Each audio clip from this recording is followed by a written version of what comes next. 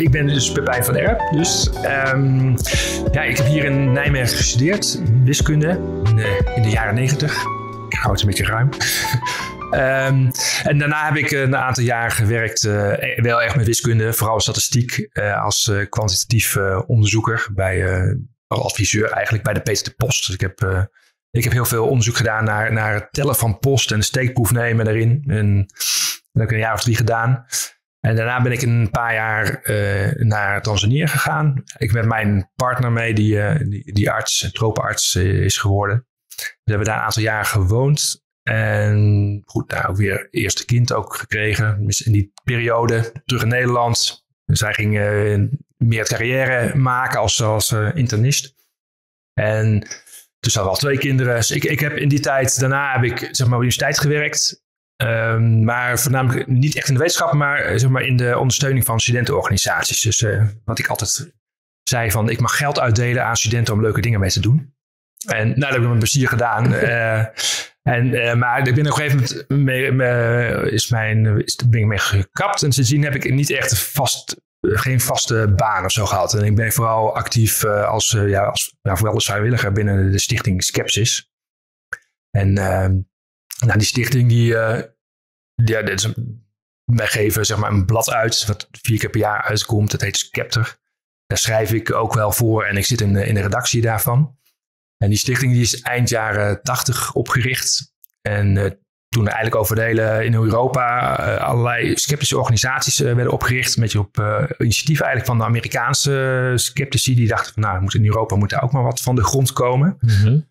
En die hield zich in die tijd bezig ja, met, met, met bijzondere claims over ja, astrologie was toen nog heel groot bijvoorbeeld. En ufologie. En, astrologie nog is trouwens steeds heel groot, toch? Ja, maar toen, maar toen was het echt wel veel meer mainstream, zeg maar. Dat mensen okay. er echt nog dachten van, oh, daar zit er wel iets in. En ja. Uh, ja, nu kom je het echt alleen maar tegen in kleine horoscoopjes in de ja. in damesbladen of zo. Maar het is niet echt dat er heel veel mensen dat nog echt serieus nemen. Maar ja. nou, nog steeds wel wat. En uh, nou goed, in de jaren negentig uh, kwamen dat is ook een beetje de, de graancirkels en dat soort dingen bij. Maar, oh, ja, ja. Ja, maar de, van oudsher zit er ook altijd wel bij, zeg maar, sectes en zo. Dat was ook wel een interessant uh, onderwerp. Natuurlijk uit de jaren 70, 80 was dat natuurlijk ook uh, belangrijk. En, uh, maar ook wel complottheorieën. Dus ook al, want ja goed, in die tijd had je natuurlijk, speelde natuurlijk nog steeds met de moord op Kennedy. Maar ook allerlei andere complottheorieën. En nog hele oude, oude meer historische complottheorieën. Dus, ehm, dus ja, dus dat is een beetje zeg maar, de, de, de klassieke sceptische onderwerpen.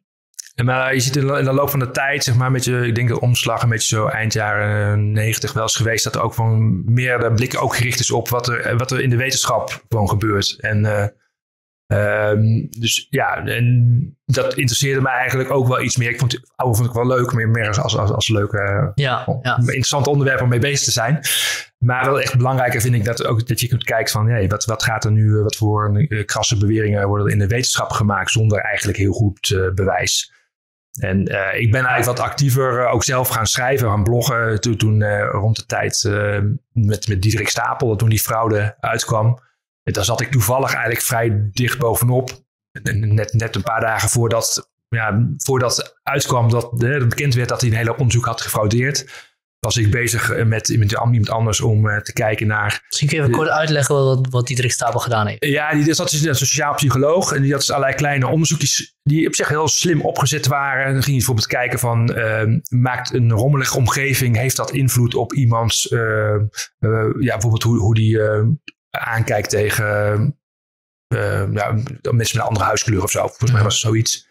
Dus als het idee van als de omgeving netjes is, dan zijn mensen ook uh, minder uh, geneigd om een negatief oordeel over iemand te geven. Mm. Daar is helemaal experimentjes voor bedacht. Zeg maar, op, dat had ze dan beschreven op een station. Dat mensen zitten op een, op een bankje. En dan kwam dan iemand met een, uh, met een ja, andere huiskleur of zo. Of in ieder geval naast zitten. En dan ging ze kijken hoe de interactie was. En dan ging ze kijken van als er nou de omgeving netjes is. Is het dan anders als er over een rotzooi ligt? Nou ja, van die van die, ja, van die vragen. Dat je denkt van, nou ja, waarom wil je dat precies onderzoeken op die manier? Maar op zich wel, wel slimme, slimme opzetjes. Maar... Ik denk ook redelijk, redelijk common sense dat als een locatie opgeruimd is, dat je dan... Of men, dat mensen zelf ook, zeg maar, uh, ja, meer gewenst gedrag vertonen en niet uh, zelf ook uh, nonchalant ja. worden. Maar die, ja, het was op allemaal wel slim in elkaar gezet. Maar goed, uiteindelijk bleek dat die getalletjes die eruit kwamen allemaal netjes te netjes waren. En, en uiteindelijk bleek dat het heel veel van verzonnen was. die experimenten had hij helemaal niet uitgevoerd. Ja. En nou ja, dat... en het probleem daarvan is dat door peer-reviewed journals gekomen is, waar verder onderzoek zich op kan baseren. Want het, deed verder helemaal niks om voor al die andere onderzoekers die waarschijnlijk wel uitgevoerd zijn, qua methodologie en, en, en opzet en beschrijving. Dat zag allemaal picobellen uit. Alleen hij had van die cijfers echt gewoon uit de duim gezogen. Dus dat was al wel vrij. Maar goed, de, de, de grotere schok eigenlijk voor binnen dat vakgebied is eigenlijk dat uh, mensen er goed naar gingen kijken. Van ja heel, ja, heel die opzet met die hele kleine steekproeven en die methodologie. Ja, dat, eigenlijk klopt het helemaal niet. Het is echt van veel te, veel te dun allemaal. Mhm. Dus daar is wel een enorme omslag in gekomen. Maar goed, ik, ik, ik, was daar meer vanuit de wiskundige blik. Ik keek ik naar die, kleine, naar die statistiek met die kleine aantallen. Die vond ik wel heel frappant. Ik had al tijdens mijn werk bij Post um, goed leren kijken naar, naar steekproeven.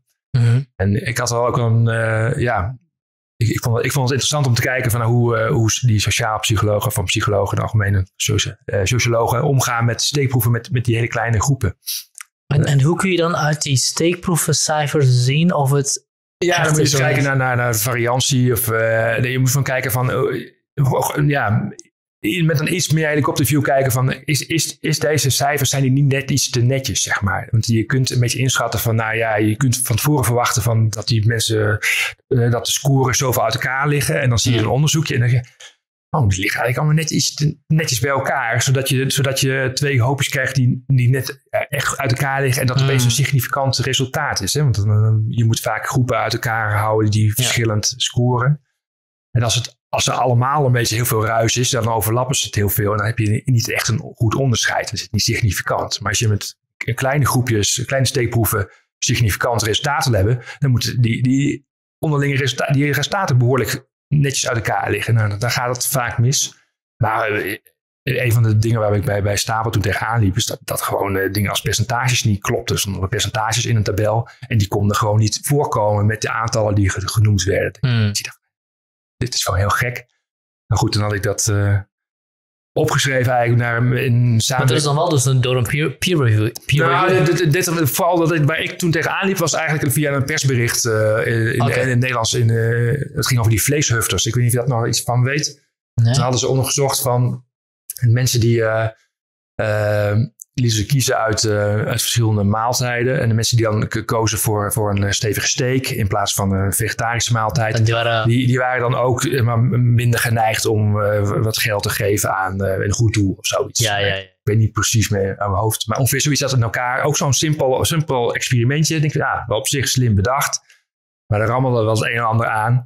Maar onder andere klopten de cijfers echt gewoon niet. En het was wel een beetje te vroeg naar buiten gegooid. En uh, ik had daarover met een uh, wetenschapsjournalist. zei van, nou ja, dit, het klopt gewoon iets niet. Dit, dit, dit, is wel raar. En wel zoiets van, nou, ja, laat ze het eerst maar eens even publiceren. Kijken of het door peer review komt. Of dat ze het bij een eh, congres... En dan gaan we wel eens even dat tegenin. Ja. Ja, net de volgende dag kwam uit dat, uh, dat al die andere onderzoeken niet deugden. Dat was shit. Hadden we dat toch nog even, toch maar even snel een blogje. blogje. Ja, ja, dit is scoop echt gemist. Ja. Maar, maar goed, het was, uh, het was op zich wel. Maar goed, maar toen was wel mijn, mijn interesse wel gewekt om daar ook wel wat, wat serieuzer naar te gaan kijken. En wat zelf ook wat meer over te gaan schrijven. Dus toen ben ik ook wat meer gaan bloggen.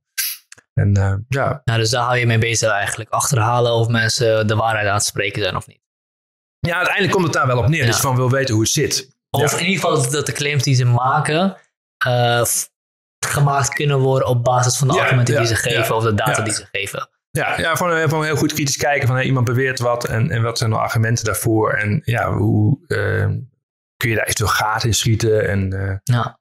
Ja. ja voor, dit is misschien, misschien wel een goede brugje naar waar we het gaan over hebben. We gaan natuurlijk over QAnon en, en complotdenken hebben.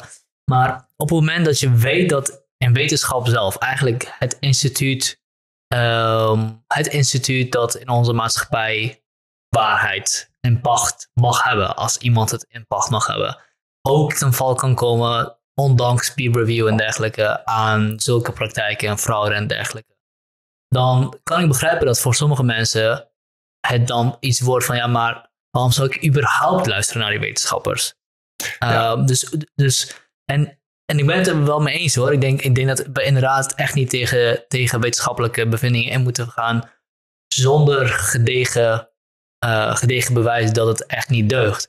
Alleen, ja, dat is voor iemand die, die, die daar graag over nadenkt. En niet iemand die, die, die denkt, wat moet ik nou precies geloven? Ja, nou ja, daarom is het denk ik heel belangrijk om, om de wetenschap ook kritisch te volgen en, en zeg maar, en aan te spreken op, op de claim die de wetenschap eigenlijk doet, van dat, dat ze zelf kritisch is. Hè? Dat mm. ze het gewoon uh, peer review serieus neemt. Uh, dat collega's elkaar aanspreken op dingen die, uh, die ze misschien zien van hé, hey, wat, wat, jij doet, klopt eigenlijk niet helemaal. In plaats van, van weg te kijken. Dus, dus, je, moet, je moet die wetenschap op, goed op de hielen zitten dat zij de, zeg maar, hun, hun eigen normen overeind houden. Ja. Dus daarom is het denk ik wel, wel goed dat er, er is wel steeds meer aandacht voor, denk ik hoor. Dus de, het is, in sommige vakgebieden zijn gewoon een beetje, een beetje ontspoord. Van de, die gingen te gemakzuchtig op een gegeven moment om van, ah, die publicaties komen vanzelf. En, er wordt, en, en dan gaan mensen die, die zien misschien van, ah, dit is eigenlijk niet helemaal goed. Maar ja, ik moet mijn stukken er ook weer in datzelfde tijdschrift kwijt. Dus die zijn niet helemaal Ja, wetenschap is natuurlijk ook een enorme publicatiedruk. Ja, ja nou, nou, dat, dat speelt ook mee. Ja. Dus uh, ik, maar, ik zie wel dat wel iets van de laatste jaren zie je daar wel steeds meer uh, aandacht voor. Dus, uh. En hebben we net als journalisten de macht moeten controleren, sceptisch nee, dat, is wel, dat is wel een puntje. Je hebt helemaal wetenschapsjournalistiek. Ja. Um, ik, ik, heb, ik heb, er, zijn maar, er zijn maar weinig echt wetenschapsjournalisten die heel onafhankelijk zijn. Heel veel wetenschapsjournalistiek komt erop neer dat je doorvertaalt van wat, wat ja. de universiteit, wat voor resultaten eruit komen. Ja. Misschien nog een beetje aandikken voor een mooie kop.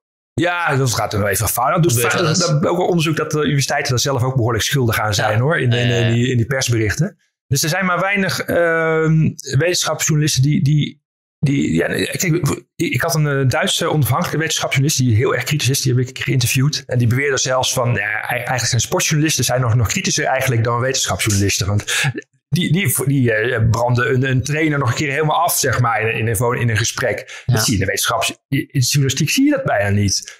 Die ja. worden bijna allemaal op een voetstuk gezet. En uh, uh, die, worden, nou, die worden niet even heel stevig ondervraagd. Er zijn er wel, zijn wel uitzonderingen hoor. Maar, nee, maar dat, dat, is wel zo. De meeste wetenschap die je doorvertaald ziet in, in, de, gewone, in de media... is, is gewoon, een, gewoon een hervertellen van wat die wetenschappers hebben uitgespookt. En ja, dat is op zich wel begrijpelijk, omdat het heel, heel ingewikkelde uh, zaken gaat. Mm dus, uh, maar ja, dus je moet, ik vind dat je ook naar die, die wetenschap ja, ik liefst zelf gewoon heel kritisch kijken. Echt die stukken altijd, in ieder geval zelf altijd heel goed doornemen. En uh, daarvan, ja, die vragen die je hebt ook laten of terugkoppelen naar die wetenschappers. Of wel in je, in je eigen uh, stukken verwerken. Dat je er ook vanuit jezelf laat zien van, nou ja, ik heb, ik heb hier toch wel wat vraagtekens bij. Ja. Ja, alleen is dat niet voor iedereen weggelegd om dat nee, te kunnen doen. Nee, nee. Uh, dus het wetenschaps, wetenschapsartikelen zitten vol ja. met jargon. Nee, maar goed, maar daarom, daarom zou je dus verwachten dat journalisten die taak oh, ja, ja, meer, iets meer doen. Je kunt, niet, jij kunt niet verwachten van iedereen, iedere krantenlezer, dat hij dan zelf al die artikelen weer uh, gaat bekijken. Van, Terwijl, ja goed, met, met, met een voetbalwedstrijd is die makkelijker, want die kun je even zelf terugzien. iedereen heeft verstand van voetbal, dus dat is dan, hè. Ja, en, en uh, het is ook gewoon belangrijk dat, je, dat, dat we een bepaalde mate van vertrouwen kunnen hebben in, uh, in dan wel instituten, dan wel degene ja. die die instituten controleren. Uh, in dit geval wetenschapsjournalisten en sceptici en wetenschap ja. aan de andere kant. Um, ja, binnen wetenschap is het, is het misschien nog wel lastiger om. Ja, dan moet je dan moet je echt ook veel meer vertrouwen, omdat het vaak om onderwerpen gaat. Ja, het kost zoveel tijd om daar, om daar zelf dan weer om in te duiken. Dus je moet erop vertrouwen dat dat, dat vakgebied zichzelf uh, corrigeert. En dat, dat ja, de onderzoekers elkaar kritisch volgen. En, ja, en dat gebeurt in, in, in theorie is het ieder geval zeker. En in de praktijk helaas niet altijd. Hmm. Zijn, er nog, uh, zijn er nog andere vakgebieden waarvan je denkt dat er, dat er iets raars aan de hand is. We, we hadden over snaartheorie even kort. We ja, goed, dat is hele, hele, uh, ja, natuurlijk in de sociale psychologie heeft, heeft de laatste jaren heel erg onder, onder, onder uh, aandacht gelegen. Ja. Uh, maar goed, ook in de zogenaamde harde wetenschappen kom je dat toch wel tegen. Maar dan ja, bijvoorbeeld gaat er heel veel geld zeg maar, naar, naar CERN, hè, maar die deeltjesonderzoek. Je ook afvragen van, ja, is dat allemaal nog, nog wel zo zinnig wat er uitkomt op zich? Het is, gewoon, het is wel degelijke wetenschap. Maar ja, dat speelt meer andere vraag van waarom doen we dit en, en niet iets anders. Dat ook met zo'n vanzelfsprekendheid sluipt er dan in waarom we zeg maar allemaal miljoenen of miljarden in nieuwe deeltjesversnellers willen stoppen. En, en daar heb je bijvoorbeeld binnen de natuurwetenschappen die, snaartheorie. Uh, ja, dat, dat, kost natuurlijk wel minder geld. Want het zijn gewoon mensen die hier met uh, pen en papier allerlei ingewikkelde formules uh, opschrijven. Eh, maar dat, daar zit ook weinig vooruitgang in, lijkt het. Zeg maar. Het zijn heel mensen die heel ingewikkelde dingen mee, mee doen. Maar uiteindelijk komt er weinig ehm, uit wat, wat bruikbaar is of wat ons extra kennis geeft over, over de wereld om ons heen. Terwijl dat ja, vroeger, kijk, de kwantummechanica heeft een behoorlijke impact gehad. En mm. dat zeggen we, ja, er zit, er zit altijd een, een verloop van tijd in. Maar bij snaartheorie is, is het echt wel de vraag van of daar überhaupt iets uitkomt gaat komen van wat, wat invloed gaat hebben op ons, op ons dagelijks leven. Of op echt, echte kennis die we in ons dagelijks leven kunnen gebruiken. Daar heb ik dan ook wel af en toe een beetje problemen mee. Ja. Maar goed, dat, is niet, dat zit niet zeg maar, de kant van de fraude, maar meer van de keuzes van waar, waar stop je energie in. En, uh, Heeft die theorie überhaupt nog, nog, uh, ja, nog, nog zin? Ja, ja, ja, ja, ja. Laten, we, laten we overgaan naar, uh, naar QAnon. Ja. De complottheorie die uit de, uit de VS over aan het komen is met, met Trump aan de voorhoede. En, en een wereld van elite kinderverkrachters die hij ten val komt proberen te Ik ben al een beetje aan het spoilen, misschien kun je even kort vertellen. Nou ja, heel, heel in het kort is, is die QAnon, het is begonnen uh, ja, op 28 oktober 2017 volgens mij. En um, dat is begonnen met een, met een berichtje. Nou ja, zo, zo lijkt het. Met een berichtje op, op een, de, de, zo'n webforum, zeg maar 4chan. 4chan is het begonnen. En uh, dat was een berichtje wat getekend is door Q en dat is anoniem. En dat, daar stond iets over van dat uh, binnen een paar dagen Hillary Clinton uh, gearresteerd zou worden. Dat haar paspoort al geconfiskeerd mm. zou zijn. Dat zou dan na het weekend of zo. Zou er dus de beweging in de zaak komen. Want op zich was er al heel lang, zeg maar, op die fora waren er alle theorieën over dat, ja, dat er een elite zou zijn. En dat er vooral de democraten daarin in, met de pedofiele netwerken verbonden zouden zijn. Het jaar daarvoor had je zo naar de Pizzagate uh, gekregen. Dat, was, dat speelde zeg maar echt tijdens de verkiezingen. Wat was Pizzagate? Ja, dat was het idee dat de, de top van de Democratische Partij uh, via een of andere pizzeria in, in Washington DC, de Comet Pingpong heette dat, dat vanuit de kelder daar een, oh, allerlei kinderen vasthouden en dat, dat, dat daar eens kinderen besteld konden worden, voor, zeg maar, voor je kon een pizza bestellen, maar je kreeg eigenlijk, eigenlijk was het een soort codewoord. Ja, dus De, de, idee was... Ja, en, en was die pizzeria, had hij niet... Nee, had hij niet in zijn kelder, Nee, dat, dat, goed. Uiteindelijk is dat is helemaal opgeblazen, dat verhaal. En uh, er zijn dus mensen die er zo erg in, in fanatiek in meegingen... dat ze dachten van, ah, dat die dus uh, iemand is daar op een gegeven moment in de auto gesprongen... en is iets van 600 kilometer gereden naar Washington D.C., en uit de auto gesprongen met de gewapens die, die de pizzeria binnengevallen is. Van, nou, nu moeten jullie mij de kelder eens laten zien. Nou ja, was alleen maar een meterkast uh, die hij kon zien. Daar heeft hij nog een paar schoten in gelost. En hij is gearresteerd. En uh, nou ja, hij is volgens mij tot vier jaar cel uiteindelijk veroordeeld. Ja. Maar die had echt zijn heel zijn hoofd op uh, hol laten brengen door die, door, door die fantasieën. Maar ja, dat, dat speelde zeg maar eind 2016. En hij volgens mij, die, die man is in december 2016 is die, die, is dat die toestand in die, dat hij dus die pizzeria was binnengevallen. En in de loop van de tijd ja, bleven er ja, wel, die verhalen bleven wel rondgaan. En er zijn meerdere zogenaamde anonieme bronnen, zeg maar, die zich presenteerden op, op dat forum.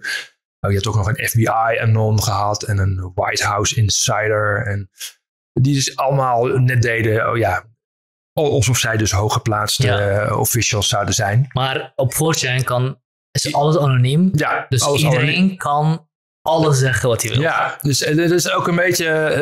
Uh, ik, heb dat niet, ik heb dat toen niet gevolgd hoor, want ik, ik zat niet, niet op die voorraad, nog steeds hij niet. Maar er is ook een soort, soort spelelement in. Van, mensen geven puzzeltjes aan elkaar en doen er zich voor als. Oh, eh, Het werd ook door iemand een beetje omschreven als een soort ja, ARG, dat is een alternative reality game. Ah ja. En uh, het zou best zo zijn dat, dat die, die Q, die, die eerste zeg maar, bericht, uh, ook, ook door iemand zo gebracht is. En, uh, maar ja, de, die Q is op een of andere manier eruit gelicht en, en het belangrijkste geworden. En uh, dat is wel teruggezocht van een van de moderators van, van dat board, zeg maar, op dat forum. Die heeft daar dus heel een belangrijke rol in gespeeld. En samen met een van de dame die op YouTube opeens daar filmpjes over ging maken. En die, toen is het heel snel populair geworden. Dus toen is de mm. Q echt een soort fenomeen geworden. Maar het is in het begin heel rommelig gegaan. Dat die ook uh, mensen andere mensen deden zich voor als Q. En uh, toen was hij dan weer zo'n. zo'n je hebt een soort code waarmee je wel kunt zien dat iemand. Uh, ja, de echte Q is die in het begin ook posten, zeg maar. Ja, je kan zeg maar als je, als je Ja, tripcode heet het. tripcode, ja. Ja, en maar ik ga dat niet uitleggen waar ik niet helemaal snap. Nee, Dus maar goed, maar die code is, is ook een paar keer gekraakt of zo in het begin. Dus gingen andere Ja. mensen zich als Q voordoen. Maar die, bij die, die moderator, die dus net iets meer achter schermen iets kon zien over IP-adressen, die kon dan telkens bevestigen, oh ja, dit, dit is de echte Q. En Ja, het is ook een beetje de vraag van, ja, misschien was hij het te begin ook wel zelf, want hij zat, ja, eigenlijk was hij de sleutel tot Q eigenlijk, want hij kon, moest dan bevestigen Q wie, wie, wie de echte Q dan nog was. En, Ja. eh, en op een gegeven moment is, is het van ehm 4chan de, de, afgemieterd. Ook bij Reddit was er een hele grote groep, geloof ik. En eh, uiteindelijk is het in 2018 naar, naar een 8chan, zeg maar. Dus een beetje zo'n eh, Ja. kopie van 4chan, maar waar, waar echt nog steeds alles mocht. Ja. Waar je ook echt eh, allerlei racistische shit en kinderporno aan kon treffen.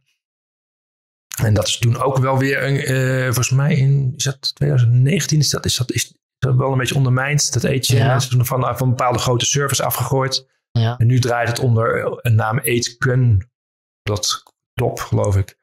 Maar Eet kun. Oké, ja, ja, ja, ja. dat is sinds, sinds vorig jaar, eh, geloof ik. Zit ik nou een jaar fout? Nee, volgens mij sinds eind sinds 2019 Ja. draait het Maar daar. deze zogenaamde Q begint eigenlijk zo rond 2017 te posten. Of er worden in ieder geval berichten gedropt. Ja, ja, en en Eetkun. Ja. En mensen beginnen in ieder geval te geloven dat het echt is. Dat het echt Nee, zo dat er is. echt iemand is die, die eh, hoog in de boom zit, zeg maar. Die dicht tegen het Witte Huis of hoog in het... eh, eh, nou, hij zou dan in het de- departement van Ener- Department of Energy volgens mij zitten. Met een, met een toegang tot geheime informatie. Want het Q was, dat staat eigenlijk voor Q Clearance Patriot, heet het volgens mij. Dus het gaat om de Q Clearance en dat is dan een, een code voor toegang tot eh, bepaalde geheime Eh, en, documenten. een, en Anon zijn de mensen die op 4chan zitten. Die hem dan volgen. Dus eigenlijk, eigenlijk je hebt de Q en ons. Dat zijn Ja. eigenlijk de, de mensen, de volgers van, eh, van, van Q. Ja. En, ehm, maar die, die, die, die dropt zeg maar, de, hij berichtjes, zeg maar. Het is een beetje cryptisch. En soms zijn het gewoon verwijzingen naar, naar tweets van anderen. En, eh, ja, en, en het begon er eigenlijk mee van, nou ja, met een soort aankondiging van binnenkort gaat de Hmm. dingen veranderen. Gaat Trump The storm is upon us. ja, ja. En volgens mij is dat ook een van de eerste, een van de e- eerste posts al Ja. wel van En, en hoe, is, eh, hoe is Trump hierin de grote held voor QAnons? En hoe is Hillary, Hillary Clinton de grote kinderverkrachter? Nee, dat- dat, komt zeg maar, van- nog uit, eh, uit die Pizzagate. Hè? Dat Hillary is natuurlijk de kwade peer. En maar dus, zij staat eigenlijk symbool voor, voor de, voor de ja, voor dorven elite van Washington. Hè? Die alle touwtjes in handen hebben. Dus, en eh, Q is dan, of, eh, Trump is dan degene die, hè, die dit moeras komt eh, de, leegtrekken, zeg maar. Ja, De drain the drain the swamp. swamp, ja. Dus Dat is een term wat van hem komt, toch? Ja, ik denk dat hij al wel ouder is, denk ik hoor.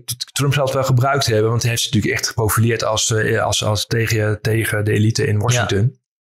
Eh, dus ik weet eigenlijk niet, maar ik denk dat hij wel, wel ouder is, die term. Maar goed, dus Trump is, zeg maar, in de, tijdens de Pizzagate is, hij gekozen. En goed, en daarna zaten natuurlijk mensen te wachten van wanneer gaat hij nou, gaat hij nou eh, zeg maar, echt eh, dingen bewerkstelligen. En het is natuurlijk een beetje het idee van, nou, dat is niet zo makkelijk voor Trump, want die wordt natuurlijk tegengewerkt achter de schermen door de deep state. Ja. Ja. Dus de mensen die overal de, de cruciale posities in de handen hebben. En, en daar draait Q eigenlijk om. Die doet een soort verslag, zeg maar, van achter de schermen van de strijd tussen Trump en de deep state. Stelt eigenlijk de boodschap van, nou, het gaat op een gegeven moment wel goed, het gaat op een gegeven moment wel goed komen. Hè? Uiteindelijk kunnen we gaan zien dat Any Trump echt- now. Ja, any day now. Ja, elke keer wordt het weer uitgesteld. Er komt nooit wat van terecht van die voorspellingen, maar het blijft, ja, dat blijft dan. eh, en hij, hij geeft dan van vage aanwijzingen, gaan mensen op zoek van, oh, dit zou er nu eh, kunnen spelen. Dan heeft hij er iets over. Ja, over die, die ja, toestand rond Trump, wat natuurlijk heel veel met die onderzoeken met die Russische connecties. En dan Mm. kwam natuurlijk weer iets naar buiten. En dat werd natuurlijk ook weer ingeweven in het verhaal van hoe zit dat dan? Is dat nou, is dat nou iets van de deep state om Trump lastig te vallen? Of mensen die zeiden van nee, nee, het is een heel eh, sneaky plan van Trump samen met Muller om die deep state te misleiden. En nou ja, iedereen, iedereen kan er zijn eigen dingen in kwijt. Dat, dat maakt het ook, zeg maar, voor een hoop mensen denk ik aantrekkelijk. Dat ze een beetje aan puzzelen. En eh, En, eh, want Jeffrey Epstein heeft een tijdje ook een, zou ook een grote rol spelen, toch? ja, volgens mij is die niet. Volgens mij is dat er een beetje pas bijgesleept toen hij weer gearresteerd is. Ja. Dus toen is het natuurlijk al meteen opgepikt. Maar die, die hele eh, toestanden rond Epstein, die spelen eigenlijk al veel langer. Want hij is eh, in 2006 volgens mij of ook aangeklaagd. Mhm. En toen is hij in 2008, schat ik, schat ik, is, is hij zeg maar een soort... Uh, toen is hij volgens mij nog wel... Een soort plea deal heeft hij toen gekregen. Ja, dat een soort straf gekregen, ja. maar hij stelde eigenlijk heel weinig voor. Ja. Dan is hij wel bekend dat hij, uh, dat hij zich had schuldig gemaakt aan prostitutie of uh, prostitueren van, van minderjarigen. Heeft hij wel, dan heeft hij volgens mij zo'n zes maanden, ja, een soort met een enkel band of zo gelopen. En moest zich dan elke dag melden op het plaatselijk politiebureau. Maar het, stelde echt weinig voor. En pas, ja, veel later, zeg maar, ja, het is pas in 2019 is hij dus uiteindelijk, hebben ze zijn zaken weer, weer oppakken. Mm. En goed, toen kwam dat er in één keer in. Maar hij speelde volgens mij, Epstein niet, misschien niet ver ik weet, speelde er niet zeg maar vanaf 2017 in het verhaal van Q. Pas op het moment dat hij dus weer pas, in ja. gewone nieuws kwam, ja. Uh, is het natuurlijk weer heel goed in het, uh, ja. ja. Want ja, ik bedoel, uh, Jeffrey Epstein is natuurlijk gewoon conspiracy cocaine, dat hele verhaal. Bedoel, heel veel elite kwamen bij hem de grond. De Clintons waren inderdaad goede vrienden met hem. En hij wordt beschuldigd van ja, van volgens mij. Of, of, is het meer, meer seks met minderjarigen? Ik weet het even Ja, alles, alle, allebei geloof ik wel. Ja. En het gaat goed. Minderjarigen het gaat hij dan wel, zeg maar, de beschuldiging komen van, van, van uh, vrouwen die uh, in de tijd dan 17 of misschien 16 waren, geloof ik. Ja. Dus het gaat het wordt heel snel in die, in die pedofiele uh, connectie gelegd, terwijl dat een beetje gek is eigenlijk. Want er is helemaal geen sprake, niemand die beweert dat Epstein het met echt kleine kinderen of zo deed. Want het was, uh, hij hield van jonge, hij hield van jonge vrouwen. En uh, mm. ja, net wat uh, rijpe meisjes misschien. Maar het, het, hele idee wat aan Q hangt nu met die, met die pedofiele, satanistische kindermoorden. Dat, is eigenlijk ook niet moeilijk te worden. Ja, dat is eigenlijk, eigenlijk zit kun je dat moeilijk met Epstein koppelen in mijn uh, idee. Maar... Nou, je kan het makkelijk Ja, je kunt het koppelen, maar, maar uh, er zijn eigenlijk weinig feiten, zeg maar. Ja, je, moet dat, wel, je moet dus wel een hele hoop slagen maken. Wil je dat, zeg maar, oh, zie je wel. Epstein is een bewijs voor het bestaan van uh, satanistische kinderporno, weet ik. En, en, en, nu is het, het probleem is dat met die, met die Q, het is, kijk, ik doe er wel een beetje lachig over dat ze dat allemaal geloven en dergelijke. Maar het begint best wel ernstige vormen aan te nemen. Want inderdaad, zo'n zo'n guy die is 600 kilometer gereden en springt met, met wapens een uh, pizzeria binnen. Uh, volgens mij heeft ook iemand zijn broer vermoord, vermoord op een gegeven moment omdat hij dacht dat het een opdracht van ja. Q was. Was ook iets, iemand ergens met een, met een zwaard iemand anders in het hoofd gestoken. En, Zoiets als, ja, misschien was dat inderdaad. Ik weet even details niet, maar er zijn, er zijn wel een aantal uh, um, gevallen. Dus er is iemand die, uh, die heeft een van een maffia-baas, zeg maar, oh, ja. vermoord. Ja, niet omdat hij vanwege omdat hij maffia was, maar omdat hij dus dacht dat die zit daar mee verbonden met die, met, met, met die kinderverkrachters of zo. Ja. Ik weet ook niet exact hoe dat zit hoor, maar die, die is wel gepakt. Maar die heeft heel duidelijk dat, die, uh, dat het vanuit het Q-gedachtegoed uh, naar voren kwam. Dus het, zijn, het, zijn niet, het is niet meer van dat onschuldige uh, 2001 conspiracies. Het is niet meer, oh is er een UFO of niet. Het, is, ja. het heeft echt real world gevolgen. Ja. En je ziet dat, dat, dat Trump erop inspeelt. Je ziet ja, Willem Engel die zegt vandaag de storm is upon us ja. in een WhatsApp bericht. Dus, dus dat, dat, dat, taalgebruik wordt ook allemaal gebruikt. Ja, ja, ja, iedereen. Dat zijn hele hoop mensen die, die Q.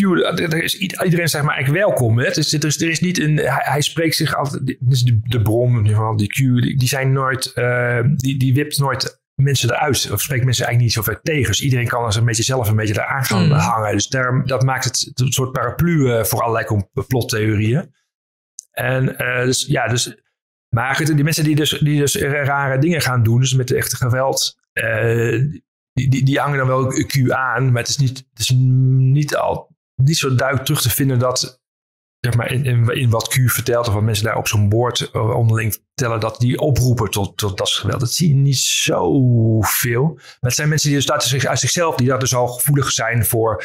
Uh, dat soort ideeën en dat zelf doordenken. En mm. denken van, oh, ik moet nu wat doen. Dus mm. mensen raken wel door die verhalen, uh, laten zich op hol, ja, het hoofd op hol brengen. Dat zijn dus wel de mensen die dus uh, daarvoor gevoelig zijn. Volgens mij waarschuwt de FBI er ook in die zin voor dat mensen die dus uh, ja, niet helemaal psychisch helemaal stabiel zijn, dat ze door dit soort theorieën wel kunnen doordraaien. Mm. En dat zie je volgens mij nu wel. Ja, dus jij gaat zeggen ben is dat, dat mijn vrees dat het echt aan het overvloeien is naar de mainstream, dat dat on, hoe noem je dat? Nou, jawel, maar echt dat, dat echt gewelddadige. Uh, ja, dat weet ik niet. Dat moeten we gewoon zien. Kijk, er zijn voor natuurlijk mensen in onze samenleving die, die in potentieel uh, tot, tot geweld in staat zijn. Mhm. En hoe, de, hoe, dat dan, hoe ze daar precies toe komen. Uh, ja, het, het kan zo'n zo'n zo'n theorie, als ze er helemaal in opgaan, kan net een zetje zijn. Dus in die, in die Ja. zin is het, wel, is het wel gevaarlijk. En je hebt dus niet zo'n duidelijk aanspreekpunt. Je kunt zeggen van, hé, hey, eh, doe eens even wat rustiger aan. Ja. Eh, roep, jou, roep jouw aanhangers eens op om uh, aan hier mee te doen. Ja. Zo werkt dat, dat dan weer niet. Hoe komen mensen tot het geloven van zo'n complot? Uh, ik, ik, neem aan dat het, dat het met veel dingen te maken heeft. Social media zal daar zeker een rol in spelen. Volgens mij is een van de redenen dat het zo'n supercomplot is, waar dus eigenlijk alles onder valt. Onder andere vanwege Q's verwelkoming van iedereen's overtuigingen, maar ook omdat mensen heel veel informatie op social media, zoals Ja. Facebook en dergelijke, halen, waarbij als je in het ene complot zit, je heel snel en uh, Ja. aangeraden wordt om in het andere Ja. complotgroep te zitten. Ook in het andere complotgroep. Ehm, Maar ja, wa- ja, waar- waarom, waarom het precies zo, eh, zo aantrekkelijk is, dat vind ik zelf nog steeds moeilijk te vatten hoor. Maar ik, ik vind ook mensen, zeg maar, heel, heel andere complottheorieën, zeg maar, als je mensen die in platte aarde geloven, zeg maar. Ja. Ik vind het ook moeilijk te vatten van hoe, hoe, hoe kom je nou zover om dat echt serieus te geloven? Of is het, is het meer een soort, soort uh, ga je er meer en meer op een speelse manier mee om? Vind je het leuk om complotachtige uh, discussies te voeren of met, met zo'n kamertje te testen? Dat, Ja. dat zit er ook wel een beetje in. Dat, het, het is wat, wat Pel zegt, het heeft, het heeft spelelementen, zeg maar. hmm. Dus uh, hij geeft, hij geeft puzzeltjes, eigenlijk puzzels. En je kunt nou, die, daaruit gaan zoeken van wat zou die kunnen bedoelen en zo. Dat heeft aantrekkelijke kanten. Dat, dat, Ja. dat, dat herken ik wel. Um, maar en, en, mensen, en mensen zien toch, ja, hij, hij brengt het als een soort grote strijd tussen goed en kwaad. Hè? Dus, Ja. eh, dus dat, en dat heeft natuurlijk ook heel veel meer religieuze trekjes. Heeft dat, eh, en, en het schijnt vooral onder de evangelicals in de Verenigde Staten, Ja. schijnt het daardoor wel eh, extra aantrekkelijk te zijn. Ja.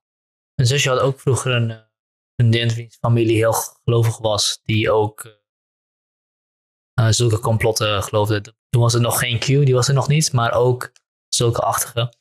Maar dat speelse zie ik niet echt terug als ik kijk naar, naar de mensen die aan het demonstreren zijn. Nee, nee, nee maar dat, dat zie je online. Dus ik- Ja. ik, ik denk dat er wel zeg maar, de mensen die, die de stap nemen om een, eh, om- een spandoek te maken met eh WWWGA, zeg maar, met, met die hashtags en zo, en op het Malieveld te gaan staan.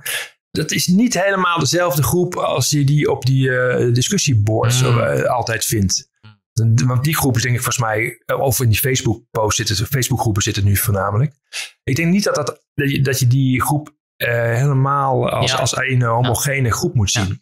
Ja, ik moet wel zeggen dat dat that rings a bell. Want inderdaad, op uh, fora zoals Fortune en dergelijke wordt ook heel veel gedaan voor ja, trollen, zeg maar. Hè? Of, controle, eh, voor ja. keks, Ja, voor, vanwege de vervelingen. Ja. Ja, dat is volgens mij wel een belangrijk onderdeel. Ook met al die memes en zo. Dat, eh, hè, dat, dat, ja, dat is, mensen vinden dat wel, wel, wel grappig of zo. Ja. Eh, En dan- maar dan heb je nu het probleem dat het ongefilterd door het, film- door het internet heen beweegt. En dat eindigt bij mensen die veel minder speel zijn. Ja. En op zoek zijn naar wellicht antwoorden voor, dit, eh, voor het supercomplexe wereld en wat er allemaal gebeurt. En daar een heel duidelijk antwoord lijken te vinden. ja. Ja, ja dat, dat maakt het, eh, dat maakt het gewoon wel ingewikkeld. Ja. maar ik, ja, die mensen zeg maar, die, die, eh, zeg maar, die eh, gaan, gaan demonstreren met, met van die teksten met adrenochrome en... eh, Adrenochrome. Ja, inderdaad. ja, wat, wat is, ah, ja, dat, dat is volgens dat- mij een soort stofje wat Ja, die... eh, dat is, dat is eh, eigenlijk adrenaline wat, eh, die geoxideerd is, zeg maar. Dus in- in het menselijk lichaam heb je adrenaline. Hè. Dus als jij eh, schrikt of zo, dan stijgt je adrenaline-niveau. ja. En het idee is, ja, dit is, het is, dit is niet eens zelf door Q ge- gebracht, volgens mij. Q heeft volgens mij zelf nooit iets over adrenochrome gepost of zo. Mhm. Maar eh, Het, het, het, komt eigenlijk uit een paar eh, met je science fiction-achtige boeken. Dat, in, een Fear and Loading in Las Vegas, daar komt het ook Mhm. duidelijk naar voren als een soort druk. Zeg maar, dat het een soort ultieme druk zou zijn. En eh, ja, dat zit dus in, in menselijk lichaam. En je zou het daar dus met eh, minieme hoeveelheden. Dus je eruit halen is bijna niet te doen eigenlijk. Maar je kunt het van maken. Hè. Dus je, je kunt van een potje adrenochrome kun je van bestellen. Het kost eh, bijna niks. Mhm. Volgens mij kun je gewoon een pot voor, eh, voor een paar tientjes kun je kopen.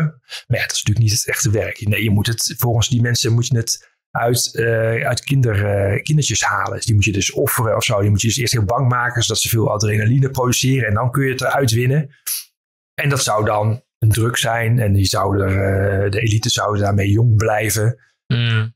Dat is, dat is zo'n Kijken naar de Queen idiote, idiote complottheorie. Maar als je, als, je, als, je, als je daarna gaat kijken van wat de oorsprong uh, van dat verhaal, dan zie je dat dat soort verhalen, die lopen al door de hele cynisme al heen. En je komt uiteindelijk vaak bij antisemitische uh, complottheorieën. Dus mm. bij, het, bij het zogenaamde bloedsprookje. Of de, dat, dat zeg maar, uh, vroeger werden al verteld van, nou dan was er op in de middeleeuwen was er een kind kwijt. En dan werden heel vaak de Joden zeg maar, als, als schuldig aangewezen. Want er ging dan het verhaal over dat ze christelijke uh, kindertjes uh, offerden omdat ze bloed nodig hadden voor het bereiden van hun matses of zo.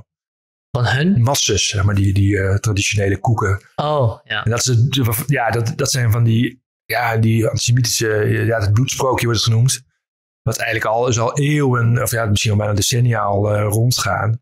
En dat zie je van die elementen, zie je gewoon ja, als, ik complot, als, ik, als ik een complotdenker was, had ik nu gezegd, nou, misschien is er een goede reden waarom het zo, zo lang uh, in ja, ja, ja, ja, ja, maar die, die, die verhalen hebben, die, omdat ze zo lang blijven voorbestaan, is, er is iets in die verhalen die, waardoor het aantrekkelijk blijft voor mensen om daarmee te blijven komen. Maar dat Adrenochrome is wel een soort hele ja, modern jasje gekregen. Ja, ja. Dat het heel vreemd is hoor. Maar ik heb het niet precies gevonden wanneer, wanneer dat precies in die Q-mythologie is erin geslopen. Maar het, het, hangt natuurlijk wel samen met, met het idee van zo'n satanistische kindermisbruik. Dat je die kinderen gaat offeren. Ja, waarom doe je dat? Ja, ja om, om alleen maar voor de lol. Nee, er moet nog een extra reden zijn. Je moet er nog iets uithalen of zo, ja. Ja, ja. ja. je wil natuurlijk een duidelijk, uh, duidelijk uitleg hebben van waarom. Uh, ja doet. Zonder het bewijs te hoeven leveren. Ja. maar het gekke is dat wat we nu heel veel, het hangt dus heel veel aan, aan Q uh, vast, maar ik heb nog nagezocht. Er is geen Q-post waarin je zelf het woord adrenochrome gebruikt. Nee. nee. Dus, uh, dat is op zich wel weer merkwaardig. Ja. Maar dat geeft dus aan dat, dat de mensen er dus uh, het, heeft gewoon een, het, is, het is zijn eigen leven aan het leiden. Ja, ja mensen kunnen het dus in, eigenlijk inbrengen in, in het hele. Q-verhaal, zeg maar. Dus mensen, ja, dus uh, iemand die dat bedacht heeft als eerste zit misschien helemaal van, yes, yes, fijn dat ik dit, uh, dit kan ik eigenlijk op mijn naam schrijven. Dat heb ik als eerste ingegooid. Ja. Misschien. Als een, en dat zou dus als een spelelement gebeurd nee, dat kunnen, ja. Die, ja, uh, die, ja, die, iemand heeft het, heeft, heeft het uit, uit die film uh, and Loaded in Las Vegas, uh, heeft het die term. En het komt er al meer, dus bij Elders Huxley kom je dit, de adrenochrome al tegen als, als ja. drug. Maar ja, en die heeft het dan, dat element ergens uitgehaald en erin gebracht. Zou je, denk je dat, dat, dat ik, ik heb ook berichten gelezen dat Rusland aan het proberen is om dingen te ondermijnen door middel van mensen te laten geloven in instituten. Ja, is daar enig bewijs voor? Ik heb, ik heb er nooit bewijs voor gezien. Het, het zou best kunnen, maar ik zie het eigenlijk. Alles wat ik zie, denk ik van nou, dus, er lopen genoeg mensen rond die dit in onze, onze samenleving, die dat ook naar voren te brengen. Um, dus ja, ik denk er wel, ja, die, die, eh, die, die trollenfabrieken van Rusland, die, zijn, eh, die doen best wel wat. Maar ze zullen misschien bepaalde verhalen die ze goed uitkomen, een beetje extra zetje geven. Ja. Maar ze dan echt, zeg maar, zeg maar, zelfs een scenario schrijven van al die dingen, ik weet het niet. Ja. Ja, ik heb, ik heb er geen bewijs voor gezien, maar... Eh, nee, ik denk ook niet inderdaad dat dat, uh, dat dat heel erg overtuigend is. En wat je al zegt is, ik denk dat er genoeg mensen zelf al uh, prone zijn tot zulke dingen geloven. Dat, uh, ja. We hebben er geen extra buitenlandse macht voor nodig om te verklaren dat, uh, dat mensen dit zouden geloven. Nee, volgens mij, ja, het, ik, en ik mag niet zeker goed, maar ik, ik heb natuurlijk met een blik vanuit Nederland. Ik, ik weet niet zo goed hoe het in. Uh, überhaupt zo die, die Russische uh, inmenging op, op social media, die is, die is er denk ik wel. Nederland, maar bijvoorbeeld in Nederland wordt er ook gezegd dat uh, Russen daar heel actief in, in zijn. Met rond die MH17 en zo. Maar volgens mij valt dat ook wel mee. Als ik zie welke mensen zeg maar, hier daar uh, de complotten over, uh, over naar, naar, propageren. Ja, het zijn meer mensen die dat volgens mij toch uit, vanuit hunzelf doen. En misschien, mm. en misschien wel blij zijn met, met, met uh, lieve berichtjes vanuit Rusland die hun mee ondersteunen. Of op hun schouderklopjes die ze krijgen. Maar het zijn meer in de zin van het, voor de Russen misschien useful idiots, zeg maar. Ja. Dan dat ze die mensen nou echt aansturen. Gezondheid. Excuses, dankjewel. um, nu ben ik mijn train of thought kwijt. Mensen inderdaad zijn, zijn waarschijnlijk meer... Uh, uh, nou, het komt vooral mensen zelf, zeg maar. Ik ja. denk niet dat het echt, zeg maar, echt aangestuurd wordt door... Uh, zeker niet, van, niet van door de Russen of zo. Ja. Um, zie je, eh, eh, de- denk je dat deze beweging eh, daadwerkelijk effect kan hebben op hoe de, man- de manier waarop instituten functioneren in Nederland? Denk je dat het echt een En, ondermijnend eh, effect kan hebben? In Nederland vind ik het heel moeilijk te zeggen hoor. Maar je, jij, je ziet wel. eh, ja, misschien kunnen we beginnen met wat het in mhm. de VS doet. Ja, VS zie je, zie je het veel meer, omdat dat, vooral de politiek daarvoor veel populistischer is. Hè? Mhm. Je ziet, al mensen zijn, zijn er veel meer eh, voor elke, elke functie eh, afhankelijk van, een, van, een, van, van kiezers. En dan moeten een beetje beloftes doen en mensen paaien om op hun te stemmen. Ja. Dus je ziet veel meer dat, dat zo'n beweging, als die groot wordt, dat, dat zie je, eh, zie je behoorlijk wat republikeinen die daar zo'n beetje daarmee gaan spelen. Als ze dan zelf nou echt geloven in, eh, in, in, die QAnon-mythes, dat is niet helemaal duidelijk. Maar ja, ze weten wel dat er een hoop mensen die op hun zouden kunnen stemmen, dat wel aantrekkelijk vinden als zij daar een beetje tegenaan gaan leunen. Ja. En dus in die zin heeft het wel direct eh, invloed. En ik ben, ik ben wel heel benieuwd hoe dat in de komende weken gaat lopen. Want eh, ja, het is duidelijk vanuit QAnon, die mensen die echt, echt hardcore QAnon-gelovers, die zullen het niet leuk vinden als, als Trump niet herkozen wordt. Die zullen dan weer, weer een complot van de, de Deep State heeft toch stiekem weer teruggeslagen in zien. Dus Hmm. maar dan, dan is het wel weer zo'n spannend moment van gaan er dan toch weer mensen daar nog radicaler eh, in worden. En nou goed, in Amerika is, is, is sowieso vanuit de geschiedenis al meer eh, die, die rebellie en, en de wapens zijn er voorhanden. Ja, je, vroeg- het zou best wel vooral naar de federale staat. ja, dus er zou best wel van veel meer eh, geweld, toch wel eh, wat, wat je kunt terugkoppelen aan de QAnon, zou je zouden we kunnen gaan zien. En in Nederlands, ja, speelt dat denk ik niet zo'n rol. Maar je ziet wel, een aantal van die dingen van de QAnon, die, die, die zitten sluipen in andere discussies eh, eh, door. En Mhm. je ziet bepaalde dingen worden een beetje gekaapt. Hè? Dus nu, nu heb je, je hebt dus zo'n beweging, of je hebt allerlei organisaties die zich dus bezighouden met het bestrijden van kindermisbruik. Dus van oudsher al. En je ziet er nu dat die QAnon dus de, de- proberen dat te focussen op eh, het vermeende satanistische rituele kindermisbruik. Wat, wat een heel ander soort onderwerp is. Voorbeeld? Nou ja, dat is het idee, het idee dat er elites zijn die dus kinderen ontvoeren. Maar heb, je het voorbeeld, heb je een voorbeeld van een organisatie? Nou ja, nee, je hebt dus, eh, die QAnon wordt nu een beetje geweerd van, van, van, van Twitter en Facebook. Hè? Dus ze, ze, ze hebben nu een beetje bij andere hashtags een beetje gekaapt. Dus Save the Children of Save Oh, ja. Our Children. En die werden natuurlijk van oudsher gewoon gebruikt door eh, organisaties die eh, eh, gewoon geld inzamelen om eh, Ja. eh, ja, zeg maar normaal kindermisbruik, dus aanhalingstekens, zeg maar, wat niet gerelateerd is eh, aan, aan, aan, aan allerlei eh, complottheorieën. Ja. En, en je ziet, het, je ziet dat, er was laatst ook weer een eh, stille tocht in, eh, in Den Haag. Wat dan door zo'n Facebookgroep georganiseerd is. Dan denk je van, nou, het staat voor Save the Children en zo. En ik vind, nou, het is gewoon, gewoon normaal, goede, goed bedoelende mensen. Dat, nou, dat zijn ze waarschijnlijk nog steeds wel. Maar als je dan gaat kijken in die Facebookgroepen, dan zie je dus toch alweer allerlei QAnon-materiaal wat daar naar voren wordt gebracht. Als een soort inwerkmateriaal. En ik vind, ja, hm, dat is toch een beetje merkwaardig. En ik begrijp in ieder geval in de Verenigde Staten al dat, dat die organisaties die zich dus ja, op, een, op een normale manier met kindermisbruik mee bezig eh, houden, Mhm. dat die daar echt last van hebben. En in. Nederland ja, nog niet zo, begreep ik. Maar dat, dat, kan, dat kan wel eh, op- optreden. Ik heb vaak het gevoel dat in zulke trends gewoon een beetje achterlopen op de VS. Ja, ja, ook, is duidelijk. Dit er zijn natuurlijk ook heel veel trends die uit de VS komen die Ja. hier niet worden hebben geschoten. Maar het lijkt voor mij alsof die QAnon conspiracy theorieën wel aanzien aan het winnen zijn onder een groot deel van de bevolking. Als ik kijk naar wat voor, wat voor aanhang Willem Engel voor elkaar krijgen. Als kijk ja, naar voor... het is denk ik volgens mij in Europa denk ik wel heel erg door die coronacrisis door. Ja, eh, dat de- denk ik daar ja. heeft, eh, Ja. een, eh, ja, daardoor is er extra aandacht gekomen. Misschien mensen zitten misschien nog meer thuis en hebben dat vooral meer kunnen zien. Ja. Want ik, ik had eigenlijk een beetje het idee dat die hele QAnon eh, gebeuren zeg maar, eind 2019 juist een beetje aan het af, aan het afdalen, afdalen was. En heeft nu weer een enorme lift storm kwam gekregen. niet. Nee, ja, precies. nee, niet. nee. En, en ook met die, die toestanden met, die, met dat platform, met Eetcun, kwam ook niet echt lekker... eh, het heeft ook een tijdje stilgelegen en zo. Dus, ehm, maar nee, door, door de, voornamelijk door die coronacrisis is er volgens mij... te- te- terwijl het eigenlijk apart was dat die, die- een van de grote kritiekpunten op Q was, als er al was, van dat Q niks had gezien, zien aankomen van die corona. dat dat helemaal nog niet in dat verhaal zat. Dus dat paste er helemaal niet in. Ja. Dus dat, eh, ja. Maar goed, de mensen weten daar ook toch wel weer iets, eh, in, toch weer in elkaar te vlechten, zeg maar. Dat, Ja. eh, Maar goed, moeten we dan, eh, moeten we dan is het gewoon iets wat gaat overwaaien? Of moeten we wel echt, echt actie ondernemen?